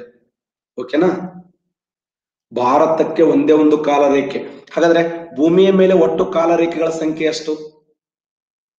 ಭೂಮಿಯ ಮೇಲೆ ಒಟ್ಟು ಕಾಲ ರೇಖೆಗಳ ಸಂಖ್ಯೆ? ನೋಡು. ನೋಡು, ನಿಮ್ ಮನಸ್ಸಿಗೆ ಬಂದಂಗೆ ಹೇಳ್ತಾರೆ. ಮುನ್ನೂರ ಅರವತ್ತಂತೂ ವೆಂಕಟೇಶ, ಕಾಲರೇಖೆಗಳ ಕೇಳಿನ ಮುನ್ನೂರ ಅರವತ್ತ ವೆಂಕಟೇಶ. ಒಟ್ಟು ಕಾಲರೇಖೆಗಳ ಸಂಖ್ಯೆ ಎಷ್ಟಂದ್ರ? ನಾವು ನೂರ ಎಂಬತ್ತು ಹಾಕು ನಮ್ಮ ಮರ್ಯಾದೆ ಕಳೆದು ಬಿಡಿ ನೀ. ಮುನ್ನೂರ ನೂರ ಎಂಬತ್ತಂತ ಅಲ್ಲಿ ಬೆಂಗಳೂರದ ನಮ್ಮ ಮರ್ಯಾದೆ ಹೋಗಿಬಿಡ್ತದ ಕಡೆ. ನಮ್ಮ ಪಟ್ಟದ ಶಿಷ್ಯಾಗಿ ಎಷ್ಟು ಶಾಣೆ ಇರಬೇಕು, ಏನು ಸುದ್ದಿ? ಭೂಮಿಯ ಮೇಲೆ ಕಾಲರೇಖೆಗಳ ಸಂಖ್ಯೆ ಎಷ್ಟಂದ್ರ? ಇಪ್ಪತ್ನಾಲ್ಕು ಕಾಲರೇಖೆಗಳು, ಟ್ವೆಂಟಿ ಫೋರ್ಸ್ ನೀ ದಡ್ಡ ಎಲ್ಲಿ ಅಂತೇಳಿ ವೆರಿ ಇಂಟೆಲಿಜೆಂಟ್ ಅದಿ. ಇಪ್ಪತ್ನಾಲ್ಕು ಕಾಲರೇಖೆಗಳು ಟ್ವೆಂಟಿ ಫೋರ್ಸ್ ಇಪ್ಪತ್ನಾಲ್ಕು ಕಾಲರೇಖೆಗಳು. ಇಪ್ಪತ್ನಾಲ್ಕು ಕಾಲರೇಖೆಗಳಂದ್ರೆ ಕಾಲರೇಖೆಗಳು. ಕಾಲರೇಖೆಗಳ ಸಂಖ್ಯೆ ಭೂಮಿ ಮೇಲೆ ಇಪ್ಪತ್ನಾಲ್ಕು. ಹೆಂಗೆ? ಮುನ್ನೂರದ ಅರವತ್ತು ರೇಖಾಂಶನ? ಮುನ್ನೂರದ ಅರವತ್ತು ರೇಖಾಂಶ. ಎಂಟು ನಾಲ್ಕು ನಿಮಿಷ. ಟೋಟಲ್ ಭೂಮಿ ಮೇಲೆ ರೇಖಾಂಶಗಳ ಸಂಖ್ಯೆ ಮುನ್ನೂರ ಅರವತ್ತು. ಪ್ರತಿ ರೇಖಾಂಶಗಳ ಮಧ್ಯೆ ನಾಲ್ಕು ನಿಮಿಷ ಅಂತ ಇರುತ್ತದೆ. ನಾಲ್ಕು ಸೊನ್ನೆ ಸೊನ್ನೆ, ಆರ್ ನಾಲ್ಕಲೆ ಇಪ್ಪತ್ನಾಲ್ಕು, ನಾಲ್ಕು ಮೂರ್ಲೆ ಹನ್ನೆರಡು ಒಂದೆರಡು ಅಂದ್ರ ಹದಿನಾಲ್ಕು ನೂರ ನಲವತ್ತು ನಿಮಿಷ ಆಯ್ತು. ಹದಿನಾಲ್ಕು ನಲ್ವತ್ತು ನಾಲ್ಕು ಸೊನ್ನೆ ಸೊನ್ನೆ, ಆರ್ ನಾಲ್ಕಲೆ ಇಪ್ಪತ್ನಾಲ್ಕು, ನಾಲ್ಕು ಮೂರಲೆ ಹನ್ನೆರಡು ಪ್ಲಸ್ ಎರಡು ಕೂಡಿಸಿದ್ರೆ ಹದಿನಾಲ್ಕು ನೂರ ನಲವತ್ತು ನಿಮಿಷ. ಹದಿನಾಲ್ಕು ನೂರ ನಲವತ್ತು ನಿಮಿಷವನ್ನ ಅರವತ್ತರಲ್ಲೇ ಭಾಗಿಸೋದು. ಓಕೆನಾ? Zero zero cancel. ಆರ್ ಒಂದಲೆ, ಆರ್ ಎರಡ್ಲೆ, ಎರಡು ಉಳಿತು ಆರ ನಾಲ್ಕಲೆ, ಇಪ್ಪತ್ನಾಲ್ಕು. ಇಪ್ಪತ್ನಾಲ್ಕು ಕಾಲರೇಖೆಗಳು ಇಪ್ಪತ್ನಾಲ್ಕು ಕಾಲರೇಖೆಗಳು. ಅರ್ಥ ಆಯ್ತಾ? ವೆಂಕಟೇಶ ಮುನ್ನೂರದ ಅರವತ್ತು ರೇಖಾಂಶ ಮುನ್ನೂರ ಅರವತ್ತು ಇಂಟು ನಾಲ್ಕು. ಹ? ಅಂದ್ರ ರೇಖಾಂಶಗಳು ಇಂಟು ನಾಲ್ಕು. ನಾಲ್ಕು ಸೊನ್ನೆ ಸೊನ್ನೆ, ಆರ್ ನಾಲ್ಕಲೆ ಇಪ್ಪತ್ನಾಲ್ಕು, ಎರಡು, ನಾಲ್ಕು ಮೂರ್ಲೆ ಹನ್ನೆರಡು ಪ್ಲಸ್ ಎರಡು ಅಂದ್ರೆ ಹದಿನಾಲ್ಕು ನೂರ ನಲವತ್ತು ನಿಮಿಷ. ಹದಿನಾಲ್ಕು ನೂರ ನಲವತ್ತು ನಿಮಿಷ ಅಂದ್ರೂ ಒಂದೇ, ಇಪ್ಪತ್ನಾಲ್ಕು ಗಂಟೆ ಅಂದ್ರೂ ಒಂದೇ. ಹಾಗಾದ್ರೆ ಭೂಮಿಯ ಮೇಲೆ ಅತಿ ಹೆಚ್ಚು ಕಾಲರೇಖೆಗಳನ್ನು ಹೊಂದಿರುವಂತ ದೇಶ ಯಾವುದು? ಭೂಮಿಯ ಮೇಲೆ ಅತಿ ಹೆಚ್ಚು ಕಾಲರೇಖೆಗಳು. ಕಾಲರೇಖೆಗಳು.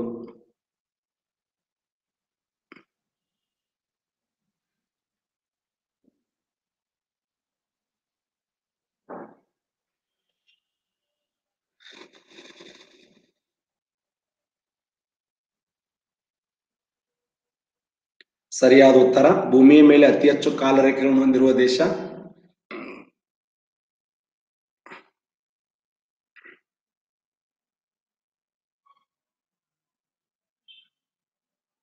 ಹೇಳಿ. ಸರಿಯಾದ ಉತ್ತರ, ಫ್ರಾನ್ಸ್ ದೇಶ. ಫ್ರಾನ್ಸ್ ದೇಶ. ಅತಿ ಹೆಚ್ಚು ಕಾಲರೇಖೆಗಳನ್ನು ಹೊಂದಿರುವ ದೇಶ ಫ್ರಾನ್ಸ್. ಫ್ರಾನ್ಸ್. ಟೈಮ್ ಜೋನ್ಸ್ ಅಂತ ಕರೀತಾರೆ. Very good Paramesh time zones. France highest ಕಾಲರೇಖೆಗಳನ್ನು Uganda ಬರೀನಿ ಕಿರಣ. ಫ್ರಾನ್ಸ್ ದೇಶ. ಅತಿ ಹೆಚ್ಚು ಕಾಲರೇಖೆಗಳನ್ನು ಹೊಂದಿರುವ ದೇಶ ಯಾವ್ದಂದ್ರ? ಫ್ರಾನ್ಸ್. ಫ್ರಾನ್ಸ್ ಬಿಟ್ರೆ ಅತಿ ಹೆಚ್ಚು ಕಾಲರೇಖೆಗಳನ್ನು ಹೊಂದಿರುವಂತ ಎರಡನೇ ದೇಶ ಯಾವ್ದಂದ್ರ? ರಷ್ಯಾ. ರಷ್ಯಾ. ರಷ್ಯಾಕ್ಕೆ ಹನ್ನೊಂದು ಕಾಲ ರೇಖೆಗಳು, ಫ್ರಾನ್ಸ್ ದೇಶಕ್ಕೆ ಹನ್ನೆರಡು ಕಾಲ ರೇಖೆಗಳು. ಇತ್ತೀಚೆಗೊಂದು ಅದನ್ನು ರದ್ದು ಮಾಡಿದ್ರು. ಎಸ್. ಹನ್ನೊಂದು ಕಾಲ, ರಷ್ಯಾ ದೇಶಕ್ಕೆ ಹನ್ನೊಂದು ಕಾಲ ರೇಖೆಗಳು. ಭಾರತಕ್ಕೆ ಒಂದೇ ಒಂದು ಕಾಲ ರೇಖೆ ಇದೆ, ಅದು I S T. I S T. ಭಾರತಕ್ಕೆ ಒಂದೇ ಒಂದು ಕಾಲ ರೇಖೆ, ಅದು I S T. Indian standard time. ಭಾರತಕ್ಕೆ ಒಂದೇ ಒಂದು ಕಾಲ ರೇಖೆ. ಹೌದು ಪುಂಡ್ಲಿಕ್ಕ ಆಸಂಗಿಯಾವಳವ್ರೆ ಚಿಕ್ಕ ದೇಶ ಫ್ರಾನ್ಸ್ ಇದೆ, ಅದು ಹೌದು. ದ್ವೀಪ ರಾಷ್ಟ್ರಗಳದ ಬ್ರದರ್ ಬೇರೆ ಬೇರೆ ಕಡೆಯಲ್ಲಿ ದ್ವೀಪ ರಾಷ್ಟ್ರಗಳದಾವೆ. ಓಕೆ ಓಕೆ ಕವಿತಾ ಪಾಟೀಲ್ ಅವರು ಅದೇ ಕೇಳಿದ್ರು. But France is smaller then Russia ಅಲ್ವಾ ಸರ್ ಅಂತ ಹಂಡ್ರೆಡ್ ಪರ್ಸೆಂಟ್ ಬಟ್ ಫ್ರಾನ್ಸ್ ದೇಶಕ್ಕೆ ದ್ವೀಪ ರಾಷ್ಟ್ರಗಳದಾವು. ಆವಿಷ್ಕಾರ ಮಾಡಿದಂತ ರಾಷ್ಟ್ರಗಳೆಲ್ಲವೂ ಕೂಡ ಅದು ಘೋಷಣೆ ಮಾಡ್ಕೊಂಡವೆ. ದ್ವೀಪ, ನಾನು ಒಂದೇ ಅಖಂಡ ಅಂತ ಹೇಳ್ತಾ ಇಲ್ಲ. ದ್ವೀಪ ದ್ವೀಪ ಚಿದ್ರ ಚಿದ್ರ ಚಿದ್ರದ ಫ್ರಾನ್ಸ್ ಆ ಚಿದ್ರ ಚಿದ್ರ ಇರುವಂತ ದೇಶಗಳನ್ನು ಕನ್ವರ್ಟ್ ಮಾಡ್ಕೊಂಡ ಆ ಉದ್ದೇಶಕ್ಕಾಗಿ ಅಖಂಡ ಭೂಮಿಯನ್ನು ಪರಿಗಣಿಸಿದಾಗ ರಷ್ಯಾ ಫಸ್ಟ್ ಬರ್ತದೆ. ಅಖಂಡ ಭೂಮಿಯನ್ನು ಪರಿಗಣಿಸಿದಾಗ ಬಟ್ ಆ ಪೀಸ್ ಪೀಸ್ ಗಳನ್ನ ಮಾಡಿದಾಗ ಯಾವಂದ್ರೆ ಫ್ರಾನ್ಸ್ ದೇಶ ಫಸ್ಟ್ ಬರ್ತದೆ. ಹನ್ನೊಂದು ಸಾರಿ ಹನ್ನೆರಡು ಕಾಲರೇಖೆಗಳನ್ನ ಫ್ರಾನ್ಸ್ ದೇಶ ಹೊಂದಿದೆ ಅಂತ. ಹನ್ನೊಂದು ಕಾಲರೇಖೆಗಳು. ಭಾರತಕ್ಕೆ ಒಂದೇ ಒಂದು ಕಾಲರೇಖೆ. ಭಾರತಕ್ಕೆ ಒಂದೇ ಒಂದು ಕಾಲರೇಖೆ ಅದು I S T Indian standard time ಇವತ್ತ ನಾನು ಸಾಯಂಕಾಲ, ನಿಮ್ಗೆಲ್ಲ ಕ್ಲಾಸ್ ಗೀಸ್ ಮುಗಿಸಿ ಊಟ ಮಾಡಿ ನಾನು ಅಮೆರಿಕ ದೇಶಕ್ಕೆ ಪ್ರಯಾಣ ಮಾಡ್ಬೇಕಂತ ಮಾಡೀನಿ. ಯಾಕೆ ಅಮೆರಿಕ ದೇಶಕ್ಕೆ ಪ್ರಯಾಣ ಮಾಡ್ತೀನಿ ಅಂದ್ರೆ ನಾಳೆ ಹೊಸ ವರ್ಷ ಇದೆ ನಾಳೆ ಹೊಸ ವರ್ಷ ಇದೆ. ನಾಳೆ ಜನವರಿ ಫಸ್ಟ್ ಜನವರಿ ಫಸ್ಟ್ ಬೇಡ. ನನ್ನಲ್ಲಿ ಕಳಿಸ್ತಾರೆ. ಇಲ್ಲೇ ನಾನು ಕರ್ನಾಟಕದಾಗ ಇರೋದು. ಹ್ಮ್? ಎಲ್ಲಿ ಕಳ್ಸಲ್ಲ ಗೊತ್ತು ನನ್ಗೆ ನಾ ಅಮೆರಿಕ ದೇಶಕ್ಕೆ ಹೋದ್ರೆ, ಅಮೆರಿಕ ದೇಶದಾಗ ಜನವರಿ ಒಂದನೇ ತಾರೀಕು ಇರ್ತದೆ ನಾಳೆ ನ್ಯೂ ಇಯರ್ ನಾಳೆ ನ್ಯೂ ಇಯರ್ ನೆನ್ಪಿಡಿ. ಯಾಕೆಂದ್ರೆ ಅಮೆರಿಕ ಮತ್ತು ಭಾರತ ದೇಶಕ್ಕೆ ಒಂದು ದಿನದ ಅಂತರ ಇರುತ್ತದೆ. ಭಾರತ ಮತ್ತು ಅಮೆರಿಕ ದೇಶಕ್ಕೆ ಒಂದು ದಿನದ ಅಂತರ ಇರುತ್ತದೆ. ಅಮೆರಿಕ ದೇಶ ಒಂದಿನ ಕಳ್ಕೊಂಡದ ಸಾರಿ ಪಡ್ಕೊಂಡದ, ನಾವು ಒಂದಿನ ಕಳ್ಕೊಂಡಿವಿ. ಭಾರತ ದೇಶ, ನಮ್ಮ ಭಾರತ ದೇಶಕ್ಕಿಂತ ಅಮೆರಿಕ ದೇಶ ಒಂದಿನ ಹಿಂದೆ ಇರುತ್ತದೆ. ನಾವು ಒಂದಿನ ಮುಂದದೀವಿ. ಅವ್ರು ಒಂದಿನ ಹಿಂದ, ನಾವು ಒಂದಿನ ಮುಂದ. ಬಾ, ಮುತ್ತುರಾಜ್, ನಾನು ಬರುತ್ತೇನೆ ಅಂತ ಬಾ, ಹೋಗ್ಬಿಡ ನೋಡಿ ಎಸ್ ಎಸ್ ಭಾರತ ಮತ್ತು ಅಮೆರಿಕ ದೇಶದ ಮಧ್ಯೆ ಒಂದು ದಿನ ಅಂತರ ಇದೆ. ಯಾಕೆ ಅಂತರ ಇದೆ ಅಂದ್ರೆ, ಯಾಕೆ ಅಂತರ ಇದೆ ಅಂದ್ರೆ, ಇಲ್ಲಿ ನೋಡಿ. ಭಾರತ ಈ ಭಾಗದಲ್ಲಿದೆ, ಅಮೆರಿಕ ದೇಶ ಈ ಭಾಗದಲ್ಲಿದೆ. ಓಕೆನಾ ಇದು ಇದು ಗ್ರೀನ್ವಿಚ್ ರೇಖಾಂಶ. ಈಗ ಸಮಯ ನಮ್ಮಲ್ಲಿ ಎಷ್ಟಾಗಿದೆ? ಸಮಯ ಈಗ ಎಷ್ಟಾಗಿದೆ? ಹತ್ತು ಗಂಟೆ ಆಗಿದೆ. ಹತ್ತು ಗಂಟೆ ಆಗಿದೆ. ಹಾಗಾದ್ರೆ ಗ್ರೀನ್ವಿಚ್ ಅಲ್ಲಿ ಎಷ್ಟು ಗಂಟೆ ಆಗಿರುತ್ತದೆ ಈಗ? ಜಿ ಎಂ ಟಿಯಲ್ಲಿ ಗ್ರೀನ್ವಿಚ್ ರೇಖಾಂಶದಲ್ಲಿ. ನಮ್ಮಲ್ಲಿ ಹತ್ತು ಗಂಟೆ ಆಗಿದೆ. ಅಲ್ಲಿ ಅವರಲ್ಲಿ ಎಷ್ಟಾಗಿರುತ್ತದ?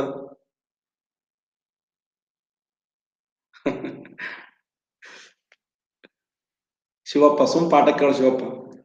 ಹತ್ತು ಗಂಟೆ. ಎಕ್ಸಲೆಂಟ್ ಇವನು ಶಿವಪ್ಪ ನೋಡಿ, ಒಂಬತ್ತು ಗಂಟೆ ಮೂವತ್ತು ನಿಮಿಷ ಆಗಿರುತ್ತೆ ಅಂತ ರಿವರ್ಸ್ ಹೋರಿ ಐದೂವರೆ ಗಂಟೆ ರಿವರ್ಸ್ ಹೋಗ್ಬಿಡುದು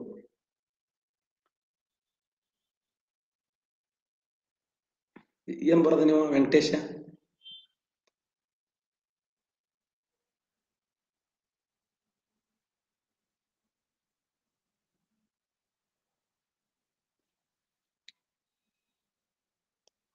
ಇದ್ರಾಗ ಐದೂವರೆ ಗಂಟೆ ಮೈನಸ್ ಮಾಡಿಬಿಡೋಣ. ಐದೂವರೆ ಗಂಟೆ ಅಂತಂದ್ರೆ, ಹಾ ಎಸ್ ಹತ್ತು ಗಂಟೆ ಅಂತಂದ್ರೆ ವಾಪಸ್ ಒಂಬತ್ತು ಓಕೆನಾ ವಾಪಸ್ ಒಂಬತ್ತು ಒಂಬತ್ತು, ಎಂಟು ಎಂಟು, ಏಳು ಏಳು, ಆರು ಆರು, ಐದು ಅದರ ಅರ್ಧ ಅರ್ಧ, ಅಂದ್ರ ನಾಲ್ಕು ಗಂಟೆ ಮೂವತ್ತು ನಿಮಿಷ. ನಾಲ್ಕು ಗಂಟೆ ಮೂವತ್ತು ನಿಮಿಷ. ಈಗ ಮಧ್ಯಾಹ್ನ ಅವರಲ್ಲಿ ನಾಲ್ಕು ಗಂಟೆ ಮೂವತ್ತು ನಿಮಿಷ ಆಗಿರುತ್ತೆ ಇಂಗ್ಲೆಂಡ್ದಾಗ. ಇಂಗ್ಲೆಂಡ್ ನಾಲ್ಕು ಗಂಟೆ ಮೂವತ್ತು ನಿಮಿಷ. ಅಮೆರಿಕ ದೇಶಕ್ಕೆ ಹೋಲಿಕೆ ಮಾಡಿದ್ರೆ ನಮಗ ಅವ್ರಿಗೆ ಇಪ್ಪತ್ನಾಲ್ಕು ಗಂಟೆ ಅಂತರ ಇದೆ. ಇದೇ ತರ ಟ್ಯಾಲಿ ಮಾಡ್ತಾ ಹೋದೆವು ಅಂದ್ರೆ America, United State of America ಮತ್ತು ಭಾರತ ದೇಶಕ್ಕೆ ಎಷ್ಟು ಅಂತರ ಇದೆ ಅಂದ್ರೆ ಎಷ್ಟು ಅಂತರ ಇದೆ ಅಂದ್ರೆ ಇಪ್ಪತ್ನಾಲ್ಕು ಗಂಟೆ ಅಂತರ ಇದೆ. ಇಪ್ಪತ್ನಾಲ್ಕು ಗಂಟ, ಗಂಟೆ ಅಂತರ. ಹಾಗಾದ್ರೆ ಇವತ್ತ ಅವರಲ್ಲಿ ಡಿಸೆಂಬರ್ ಮೂವತ್ತೊಂದು, ಎರಡ್ ಸಾವಿರದ ಹತ್ತೊಂಬತ್ತು, ಡಿಸೆಂಬರ್ ಮೂವತ್ತೊಂದು. ಅವರು ಅಮೆರಿಕ ದೇಶದಲ್ಲಿ ರಾತ್ರಿ ಡಿಸೆಂಬರ್ ಮೂವತ್ತೊಂದು ರಾತ್ರಿ ಹನ್ನೆರಡು ಗಂಟೆಗೆ ಅವರು ಏನು ಮಾಡುತ್ತಾರೆ? ಶಿವಪ್ಪ. ಯಾದಗಿರಿ ಶಿವಪ್ಪ ಅನಸರ್ ಹೇಳ್ತಾನೆ ಇದಕ್ಕೆ. ಹ್ಮ್ ಹ್ಮ್ ಹ್ಮ್.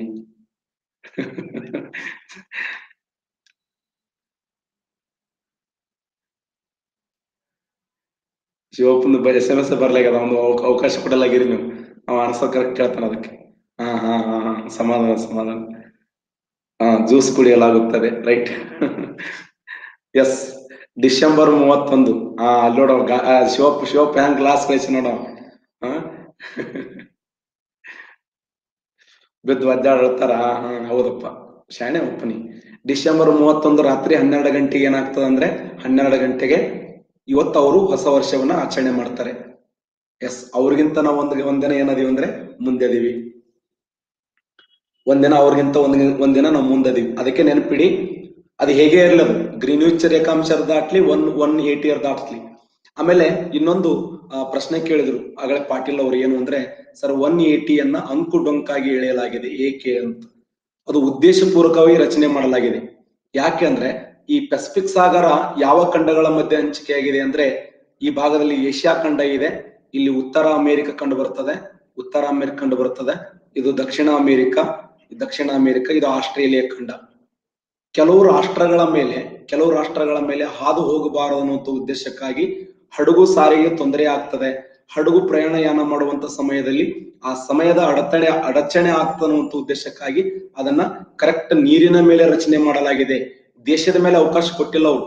ದೇಶದ ಮೇಲೆ ಅವಕಾಶ ಕೊಡದೆ ಅದನ್ನ ಜಿಗ್ಜಾಗ್ ರೂಪಗಳಲ್ಲಿ ಅಂಕು ಡೊಂಕಾಗಿ ರಚನೆ ಮಾಡ್ತಾ ಬಂದಿದ್ದಾರೆ ಅಷ್ಟೇ.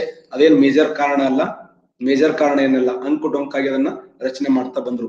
ದೇಶಗಳ ಮೇಲೆ ಹೋಗ್ಲಕ್ಕೆ ಅವಕಾಶ ಕೊಟ್ಟಿಲ್ಲ. ಅದು ಹೋದ್ರೆ ಒಂದು ವೇಳೆ ಹೋದ್ರೆ ಪಿ ಜಿ ಕಂಟ್ರಿ ಮೇಲೆ ಹೋಗ್ತಿತ್ತು. ಪಿ ಜಿ ಕಂಟ್ರಿ ಮೇಲೆ. ಆ ಪಿ ಜಿ ಕಂಟ್ರಿ ಮೇಲೆ ಅದನ್ನು ಒಯ್ಯಬಾರದು ಅನ್ನೋ ಉದ್ದೇಶಕ್ಕಾಗಿನೇ ಅದನ್ನ ನಾವು ರೆಡಿ ಮಾಡಿದ್ದು ಹದಿನೆಂಟುನೂರ ಎಂಬತ್ತೊಂದರಾಗ ಅಮೆರಿಕ ದೇಶದ ವಾಷಿಂಗ್ಟನ್ ಡಿ ಸಿ ಅನ್ನುವಂತ ಸ್ಥಳದಲ್ಲಿ. ಇದಕ್ಕೆ ಅಂತಾರಾಷ್ಟ್ರೀಯ ತಿಥಿ ರೇಖಾಂಶ ಅಂತ ಕರೀತಾರೆ. ಅಂತಾರಾಷ್ಟ್ರೀಯ ತಿಥಿ ರೇಖಾಂಶ. ಓಕೆ ಇವತ್ತು ಬಹಳ ನಾವು ಅಕ್ಷಾಂಶ ರೇಖಾಂಶಗಳ ಬಗ್ಗೆ ಸುದೀರ್ಘವಾಗಿ ಡಿಸ್ಕಸ್ ಮಾಡಿದೆವು. ಇರಲಿ, ಪರವಾಗಿಲ್ಲ. ಇಲ್ಲಿ ಕರ್ನಾಟಕ ಬಿಟ್ಬಿಟ್ಟೆ ನಾವು ಕರ್ನಾಟಕ ಬಿಟ್ಟು ರೇಖಾಂಶಕ್ಕೆ ಹೋದೆವು ನಾವು. ಒಂದಿನ ಸ್ಪೆಷಲ್ ಆಗಿ ಅಕ್ಷಾಂಶ ಮತ್ತು ರೇಖಾಂಶಗಳ ಬಗ್ಗೆನೇ ಕ್ಲಾಸ್ ಹೇಳ್ತೀನಿ. ಅಕ್ಷಾಂಶ ಮತ್ತು ರೇಖಾಂಶನ ಕ್ಲಿಯರ್ ಮಾಡ್ತೀನಿ ಪೂರ್ತಿ. ಅಕ್ಷಾಂಶ ರೇಖಾಂಶಗಳು ಯಾವ ದೇಶದ ಮೇಲೆ ಆದೋಗ್ತವೆ ಟ್ರಾಫಿಕ್ ಆಫ್ ಕ್ಯಾನ್ಸರ್ ಅಂದ್ರೆ ಏನು? ಟ್ರಾಫಿಕ್ ಆಫ್ ಕ್ಯಾಫ್ರಿಕಾರ್ನ್ ಅಂದ್ರೆ ಏನು? ಆರ್ಕಟಿಕ್ ಸರ್ಕಲ್ ಅಂದ್ರೆ ಏನು? ಅಂಟಾರ್ಟಿಕ್ ಸರ್ಕಲ್ ಅಂದ್ರೆ ಏನು? ನಾರ್ತ್ ಪೋಲ್ ಸೌತ್ ಪೋಲ್ಗಳನ್ನು ಟಚ್ ಮಾಡಿದವರು ಯಾರು? ಹ್ಮ್? ಥರ್ಮಲ್ ಇಕ್ವೇಟರ್ ಯಾವ ರಾಷ್ಟ್ರಗಳ ಮೇಲೆ ಹಾದು ಹೋಗುತ್ತದೆ? ಹಾ ಡೀಟೇಲ್ಸ್ ಆಗಿ ಹೇಳ್ತೀನಿ. ವಿತ್ ಇನ್ ಡೀಟೇಲ್ಸ್ ಆಗಿ ಅದನ್ನ ಒಂದಿನ ಅದ್ರ ಬಗ್ಗೆ ಮಾಹಿತಿ ಕೊಡ್ತೀನಿ. ಹಾ, ಕೇಳಿ, ಕೇಳು. ವೆಂಕಟೇಶ್, ಕೇಳು. Sir one one doubt New Zealand is which continent New Zealand ಅದು ಕಾಂಟಿನೆಂಟ್ ಅಲ್ಲ, ಅದೊಂದು ಸಪರೇಟ್ ಇದೆ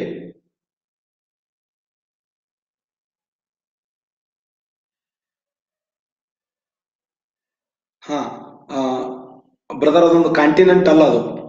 ಅದು ಸಪರೇಟ್ ನ್ಯೂಜಿಲೆಂಡ್ ಅನ್ನೋದು ಒಂದು ದ್ವೀಪ ಸಮೂಹ. ಸುಮಾರು ಈ ಒಂದು ಪೆಸಿಫಿಕ್ ಸಾಗರ, ಹಿಂದೂ ಮಹಾಸಾಗರದಲ್ಲಿ ಎಸ್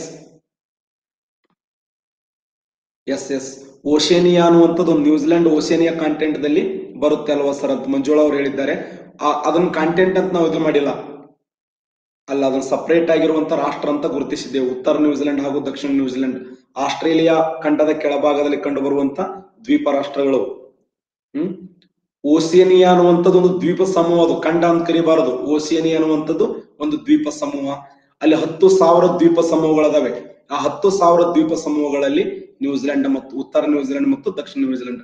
ಹಾಗಾದ್ರೆ ಖಂಡ ಅಂತ ಪರಿಗಣಿಸಿದಾಗ ಖಂಡ ಅಂತ ಪರಿಗಣಿಸಿದಾಗ ಕಾಂಟಿನೆಂಟ್ ಅಂತ ಸೋಮು ಸರ್ ಹೇಳಿದ್ರು ಅಂತ. ಇರ್ಲಿ ಇರ್ಲಿ, ಪರವಾಗಿಲ್ಲ. ಹ್ಮ್? ಅದೊಂದು ಖಂಡ ಅಲ್ಲ. ಹಾ, ಬರ್ತದೆ. ಇನ್ನು ಎಂಟು ಹತ್ತಿಂದ ಬರ್ತದೆ ಸ್ನೇಹಿತರೆ. ಕಿರಣ್ ಅವರೇ, ಭೂಗೋಳ ಸಂಜೀವನಿ ಬುಕ್ ಇನ್ನು ಎಂಟು ಹತ್ತಂದಾಗ ನಿಮ್ ಕೈಲಿ ಬರುತ್ತೆ. ಓಕೆ ಓಕೆ ಹ್ಮ್? ಇದು ವೆಂಕಟೇಶ. ಉತ್ತರ ನ್ಯೂಜಿಲೆಂಡ್ ಹಾಗೂ ದಕ್ಷಿಣ ನ್ಯೂಜಿಲೆಂಡ್ಗಳನ್ನು ಬೇರ್ಪಡಿಸುವಂತ ಜಲಸಂಧಿ ಕೇಳ್ತಾ ನೆನ್ಪಿಡು. ಕುಕ್ ಜಲಸಂಧಿ ಕುಕ್ ಜಲಸಂಧಿ ಕುಕ್ ಜಲಸಂಧಿ. ಜಲಸಂಧಿ ಅಂದ್ರೆ ಏನು? ಜಲಸಂಧಿ ಅಂದ್ರ ಸ್ಟ್ರೈಟ್. ಜಲಸಂಧಿ ಸ್ಟ್ರೈಟ್ ಅಂತ ಕರೀತಾರೆ. ಸ್ಟ್ರೈಟ್. ಎರಡು ವಿಶಾಲವಾದ ಭೂಭಾಗವನ್ನು ಬೇರ್ಪಡಿಸಿ, ಎರಡು ವಿಶಾಲವಾದ ಜಲಭಾಗವನ್ನು ಸೇರಿಸುವಂತ ಚಿಕ್ಕ ಜಲಭಾಗವೇ ಜಲಸಂಧಿ. ಎಸ್, ಎರಡು ವಿಶಾಲವಾದ ಭೂಭಾಗವನ್ನು ಭಾರತ ಹಾಗೂ ಶ್ರೀಲಂಕಾ ಅನ್ನುವಂತ ಎರಡು ವಿಶಾಲವಾದ ಭೂಭಾಗವನ್ನು ಬೇರ್ಪಡಿಸಿ ಬಂಗಾಳ ಕೊಲ್ಲಿ ಬಂಗಾಳ ಕೊಲ್ಲಿ ಮನ್ನಾರಕಾರಿ ಅನ್ನುವಂತ ಎರಡು ಜಲಭಾಗವನ್ನು ಒಂದುಗೂಡಿಸುವಂತ ಜಲಭಾಗವೇ. ಹ್ಮ್, ಎಸ್, ಎರಡು ವಿಶಾಲವಾದ ಭೂಭಾಗವನ್ನು ಬೇರ್ಪಡಿಸಿ ಎರಡು ವಿಶಾಲವಾದ ಜಲಭಾಗವನ್ನು ಸೇರಿಸುವಂತ ಚಿಕ್ಕ ಜಲಭಾಗವೇ ಜಲಸಂಧಿ. ಒಂದ್ಸರಿ ಜಲಸಂಧಿ ಫಾರ್ಮುಲಾ ಹೇಳ್ಬಿಡ್ತೀನಿ, ನೆನ್ಪಿಟ್ಬಿಡಿ. ಮೆಡೆಡೇಜಿ ಡೋಪಾಮು ಜೋಬಾಕು ತೈಬೆ ಮೆಡಿಡೇಜಿ ಡೋಪಾಮು ಜೋಬಾಕು ತೈಬೆ ಮೇಘಲನ್ ಜಲಸಂಧಿ ಡೇವಿಡ್ ಜಲಸಂಧಿ ಡೆನ್ಮಾರ್ಕ್ ಜಲಸಂಧಿ ಜಿಬ್ರಾಡ್ ಜಲಸಂಧಿ ಡೋಹರ್ ಜಲಸಂಧಿ ಪಾಕ್ ಜಲಸಂಧಿ ಮಲಕ್ಕ ಜಲಸಂಧಿ ಜೋಹರ್ ಜಲಸಂಧಿ ಬಾಸ್ ಜಲಸಂಧಿ ಕುಕ್ ಜಲಸಂಧಿ ತೈವಾನ್ ಜಲಸಂಧಿ ಬೇರಿಂಗ್ ಜಲಸಂಧಿ ಮೆಡೆಡೇಜಿ ಡೋಪಾಮು ಜೋಬಾಕು ತೈಬೆ ಮೆಡಿಡೇಜಿ ಡೋಪಾಮು ಜೋಬಾಕು ತೈಬೆ ಮೆಡಿಡೇಜಿ ಡೋಪಾ ಡೋ- ಡೋಪಾಮು ಜೋಬಾಕು ತೈಬೆ ಅಂದ್ರ ಮೆಗಲನ್ ಜಲಸಂಧಿ ಡೇವಿಡ್ ಜಲಸಂಧಿ ಡೆನ್ಮಾರ್ಕ್ ಜಲಸಂಧಿ ಜಿಬ್ರಾಡ್ ಜಲಸಂಧಿ ಡೋಹರ್ ಜಲಸಂಧಿ ಪಾಕ್ ಜಲಸಂಧಿ ಮೊಲಕ ಜಲಸಂಧಿ ಜೋಹರ್ ಜಲಸಂಧಿ ಬಾಸ್ ಜಲಸಂಧಿ ಕುಕ್ ಜಲಸಂಧಿ ತೈವಾನ್ ಜಲಸಂಧಿ ಬೇರಿಂಗ್ ಜಲಸಂಧಿ ಎಸ್ ಪಾಲ್ಕ್ ಪಾಲ್ಕ್ ಅಂತ ಕರೀತಾರೆ ಪಾಕ್ ಆ ಪಾಲ್ಕ್ ಸರ್ ಪಾಲ್ಕ್ ಅನ್ನುವಂತ ವ್ಯಕ್ತಿನೇ ಆವಿಷ್ಕಾರ ಮಾಡಿದ್ದಾನೆ ಅದನ್ನು ನೋಡಿ, ಮೇಘಲಾಂಜಲ ಸಂಧಿ, ಉತ್ತರ ಅಮೆರಿಕ ಹಾಗೂ ಸಾರಿ ದಕ್ಷಿಣ ಅಮೆರಿಕ ಹಾಗೂ ಅಂಟಾರ್ಟಿಕ್ ಖಂಡಗಳ ಮಧ್ಯೆ ಕಂಡು ಬರ್ತದೆ. ಡೇವಿಡ್ ಜಲಸಂಧಿ ಉತ್ತರ ಅಮೆರಿಕ ಹಾಗೂ, ಉತ್ತರ ಅಮೆರಿಕ ಹಾಗೂ, ಬರ್ಕೊಂಡ್ಬಿಡ್ತೀರಿ ಅದನ್ನ? ಬರೀತೀರ? ಬರ್ಕೊಂಡ್ಬಿಡ್ತೀರಿ? ಬೇಗ ಬರೀರಿ, ಒಂದ್ ನಿಮಿಷನೇ ಬರ್ಕೊಂಡ್ಬಿಡಿ ಬೇಗ, ಒಂದ್ ನಿಮಿಷನೇ ಬರೀರಿ. ಹೇಳ್ಬಿಡ್ತೀನಿ ಲಾಸ್ಟ್ ಹ್ಮ್? ಬರ್ಕೊಳ್ಳಿ. ಮೇಘಲನ್ ಜಲಸಂಧಿ ಮೇಘಲನ್ ಜಲಸಂಧಿ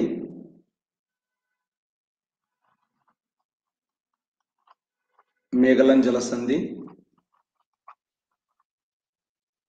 ಮೇಘಲನ್ ಜಲಸಂಧಿ ಉತ್ತರ ಅಮೆರಿಕ ಅಂಟಾರ್ಟಿಕಾ ಅಂಟಾರ್ಟಿಕ್ ಖಂಡಗಳನ್ನು ಬೇರ್ಪಡಿಸ್ತದೆ ಮೇಘಲನ್ ಜಲಸಂಧಿ ನೆಕ್ಸ್ಟ್ ಡೇವಿಡ್ ಜಲಸಂಧಿ ಡೇವಿಡ್ ಜಲಸಂಧಿ ಸಾರಿ ಇದು ದಕ್ಷಿಣ ಅಮೆರಿಕ ಇದು ದಕ್ಷಿಣ ಅಮೆರಿಕ ಸಾರಿ ದಕ್ಷಿಣ ಅಮೆರಿಕ ದಕ್ಷಿಣ ಅಮೆರಿಕ ಹ್ಮ್ ದಕ್ಷಿಣ ಅಮೆರಿಕ ಹಾಗೂ ಅಂಟಾರ್ಟಿಕಾ ಡೇವಿಡ್ ಉತ್ತರ ಅಮೆರಿಕ ಉತ್ತರ ಅಮೆರಿಕ ಗ್ರೀನ್ಲ್ಯಾಂಡ್ ಉತ್ತರ ಅಮೆರಿಕ ಮತ್ತು ಗ್ರೀನ್ಲ್ಯಾಂಡ್ ಉತ್ತರ ಅಮೆರಿಕ ಹಾಗೂ ಗ್ರೀನ್ಲ್ಯಾಂಡ್ ಡೆನ್ಮಾರ್ಕ್ ಜಲಸಂಧಿ ಗ್ರೀನ್ಲ್ಯಾಂಡ್ ಮತ್ತು ಗ್ರೀನ್ಲ್ಯಾಂಡ್ ಮತ್ತು ಐಸ್ಲ್ಯಾಂಡ್ ಐಸ್ಲ್ಯಾಂಡ್ ಗ್ರೀನ್ಲ್ಯಾಂಡ್ ಮತ್ತು ಐಸ್ಲ್ಯಾಂಡ್ ಜಿಬ್ರಾಲ್ಟ್ ಜಲಸಂಧಿ ಜಿಬ್ರಾಲ್ಟ್ ಜಲಸಂಧಿ ಜಿಬ್ರಾಲ್ಟ್ ಜಲಸಂಧಿ, ಸ್ಪೇನ್ ಮತ್ತು ಮಾರಕ್ಕೋ, ಸ್ಪೇನ್ ಹಾಗೂ ಮಾರಕ್ಕೋ, ಸ್ಪೇನ್ ಹಾಗೂ ಮಾರಕ್ಕೋ.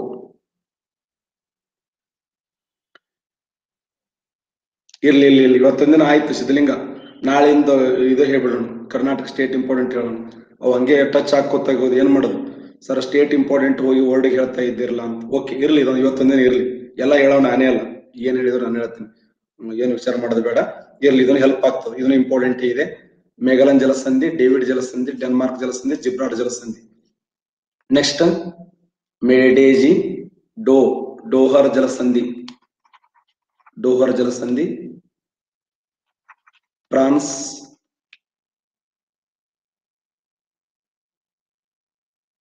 ಫ್ರಾನ್ಸ್ ಮತ್ತು ಇಂಗ್ಲೆಂಡ್ ಫ್ರಾನ್ಸ್ ಮತ್ತು ಇಂಗ್ಲೆಂಡ್ ಡೋಹರ್ ಜಲಸಂಧಿ ಮೆಡಿಡೇಜಿ ಡೋಪಾ ಡೋಹರ್ ಪಾ ಪಾಕ್ ಜಲಸಂಧಿ ಪಾಲ್ಕ್ ಅದು ಪಾಲ್ಕ್ ಅಥವಾ ಪಾಕ್ ಪಾಲ್ಕ್ ಜಲಸಂಧಿ ಪಾಲ್ಕ್ ಜಲಸಂಧಿ ಭಾರತ ಮತ್ತು ಶ್ರೀಲಂಕಾ ಶ್ರೀಲಂಕಾ, ಭಾರತ ಮತ್ತು ಶ್ರೀಲಂಕಾ. ಭಾರತ ಹಾಗೂ ಶ್ರೀಲಂಕಾ ರಾಷ್ಟ್ರಗಳನ್ನು ಏನು ಬೇರ್ಪಡಿಸಿ ಬಂಗಾಳ ಕೊಲ್ಲಿ ಹಾಗೂ ಮನ್ನಾರ್ ಕಾರಿಯನ್ನ ಒಂದುಗೂಡಿಸ್ತದೆ. ಪಾಕ್ ಜಲಸಂಧಿ, ಡೋಹರ್ ಜಲಸಂಧಿ, ಡೋಪಾಮು, ಮಲಕ ಜಲಸಂಧಿ ಮಲಕ ಜಲಸಂಧಿ, ಇಂಡೋನೇಷಿಯಾ ಮತ್ತು ಮಲೇಷಿಯಾ. ಇಂಡೋನೇಷಿಯಾ ಮತ್ತು ಮಲೇಷಿಯಾ. ಇಂಡೋನೇಷಿಯಾ ಮತ್ತು ಮಲೇಷಿಯಾ, ಮಲಕ ಜಲಸಂಧಿ. ಮೆಡಿಡೇಜಿ ಡೋಪಾಮು ಡೋಪಾಮು ಜೋಬಾಕು ಜೋಹರ್ ಜಲಸಂಧಿ ಜೋಹರ್ ಜಲಸಂಧಿ ಮಲೇಷಿಯಾ ಮತ್ತು ಸಿಂಗಾಪುರ್ ಸಿಂಗಾಪುರ್ ಮಲೇಷಿಯಾ ಮತ್ತು ಸಿಂಗಾಪುರ್ ನೆನಪಿಡಿ ವೆರಿ ಇಂಪಾರ್ಟೆಂಟ್ ಮೆಡಿಡೇಜಿ ಡೋಪಾಮು ಜೋಬಾ ಬಾಸ್ ಜಲಸಂಧಿ ಬಾಸ್ ಆಸ್ಟ್ರೇಲಿಯಾ ಮತ್ತು ಆಸ್ಟ್ರೇಲಿಯಾ ಮತ್ತು ತಾಸ್ಮೇನಿಯಾ ಬಾಸ್ ಕುಕ್ ಜಲಸಂಧಿ ಕುಕ್ ಜಲಸಂಧಿ ಉತ್ತರ ನ್ಯೂಜಿಲೆಂಡ್ ಉತ್ತರ ನ್ಯೂಜಿಲೆಂಡ್ ದಕ್ಷಿಣ ನ್ಯೂಜಿಲೆಂಡ್ ದಕ್ಷಿಣ ನ್ಯೂಜಿಲೆಂಡ್ ಓಕೆನಾ ನೆಕ್ಸ್ಟ್ ಕುಕ್ ಮೇಡೇಜ್ ಡೋಪಾಮು ಜೋಬಾಕು ತೈ ತೈವಾನ್ ಜಲಸಂಧಿ ತೈವಾನ್ ಚೀನಾ ಮತ್ತು ತೈವಾನ್, ಚೀನಾ ಮತ್ತು ತೈವಾನ್ ತೈವಾನ್. ಬೇರಿಂಗ್ ಜಲಸಂಧಿ. ಬೇರಿಂಗ್ ಜಲಸಂಧಿ. ಉತ್ತರ ಅಮೇರಿಕ ಮತ್ತು ಉತ್ತರ ಅಮೇರಿಕ ಮತ್ತು ಏಷ್ಯಾ ಅಥವಾ ಅಲಸ್ಕ ಮತ್ತು ರಷ್ಯಾ. ಅಲಸ್ಕ ಮತ್ತು ರಷ್ಯಾ. ತಾಸ್ಮೇನಿಯಾ ಜಲಸಂಧಿ. ತಾಸ್ಮೇನಿಯಾ ಜಲಸಂಧಿ. ತಾಸ್ಮೇನಿಯಾ. ತಾಸ್ಮೇನಿಯಾ ಜಲಸಂಧಿ ಏನನ್ನು ಬೇರ್ಪಡಿಸ್ತದೆ? ತಾಸ್ಮೇನಿಯಾ ಆಸ್ಟ್ರೇಲಿಯಾ ಮತ್ತು ನ್ಯೂಜಿಲೆಂಡ್. ಆಸ್ಟ್ರೇಲಿಯಾ ಮತ್ತು ನ್ಯೂಜಿಲೆಂಡ್. ಹ್ಮ್? ಮೆಲ್ಡೇಜ್, ಡೋಪಾಮು ಜೋಬಾಕು ತೈವಿ ಮೆಗಲನ್ ಜಲಸಂಧಿ, ಡೇವಿಡ್ ಜಲಸಂಧಿ, ಡೆನ್ಮಾರ್ಕ್ ಜಲಸಂಧಿ, ಜಿಬ್ರಾಡ್ ಜಲಸಂಧಿ, ಡೋಹರ್ ಜಲಸಂಧಿ, ಪಾಕ್ ಜಲಸಂಧಿ, ಮಲಕ ಜಲಸಂಧಿ, ಜೋಹರ್ ಜಲಸಂಧಿ, ಬಾಸ್ ಜಲಸಂಧಿ, ಕುಕ್ ಜಲಸಂಧಿ ತೈವಾನ್ ಜಲಸಂಧಿ, ಬೇರಿಂಗ್ ಜಲಸಂಧಿ, ತಾಸ್ಮೇನಿಯಾ ಜಲಸಂಧಿ. ಓಕೆನಾ?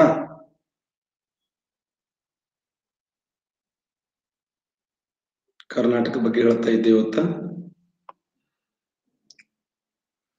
ನಾಳೆ ಕಂಟಿನ್ಯೂ ಮಾಡೋಣ ಮತ್ತೆ. ಇವತ್ತು ಅಕ್ಷಾಂಶ ಮತ್ತು ರೇಖಾಂಶಗಳ ಬಗ್ಗೆ ಡಿಸ್ಕಸ್ ಮಾಡಿದೆವು.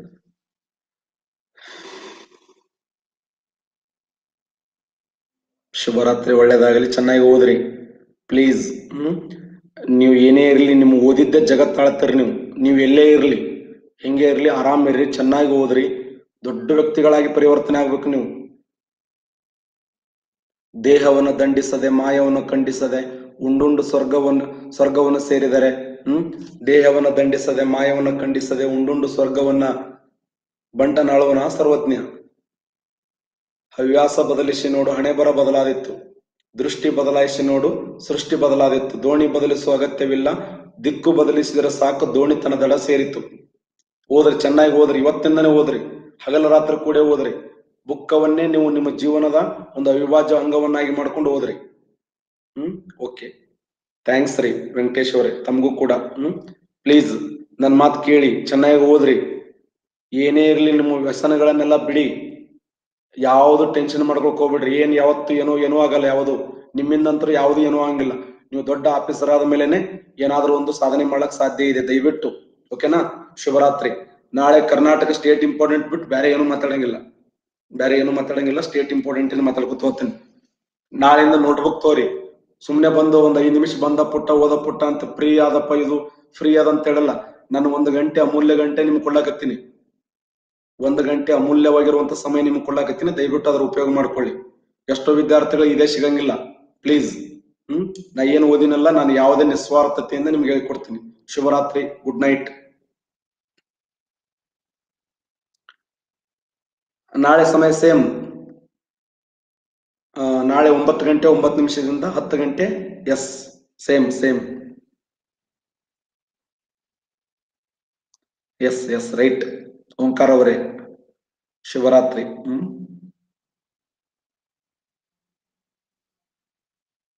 ಹೆಲ್ಪ್ ಆಗ್ತಾ ಎಲ್ಲರಿಗೆ ಹೆಲ್ಪ್ ಆಗ್ತದಲ್ಲ? Yes yes yes okay okay okay ಹ್ಮ್? Shivaratri good night okay thanks ಹ್ಮ್? ಓಕೆ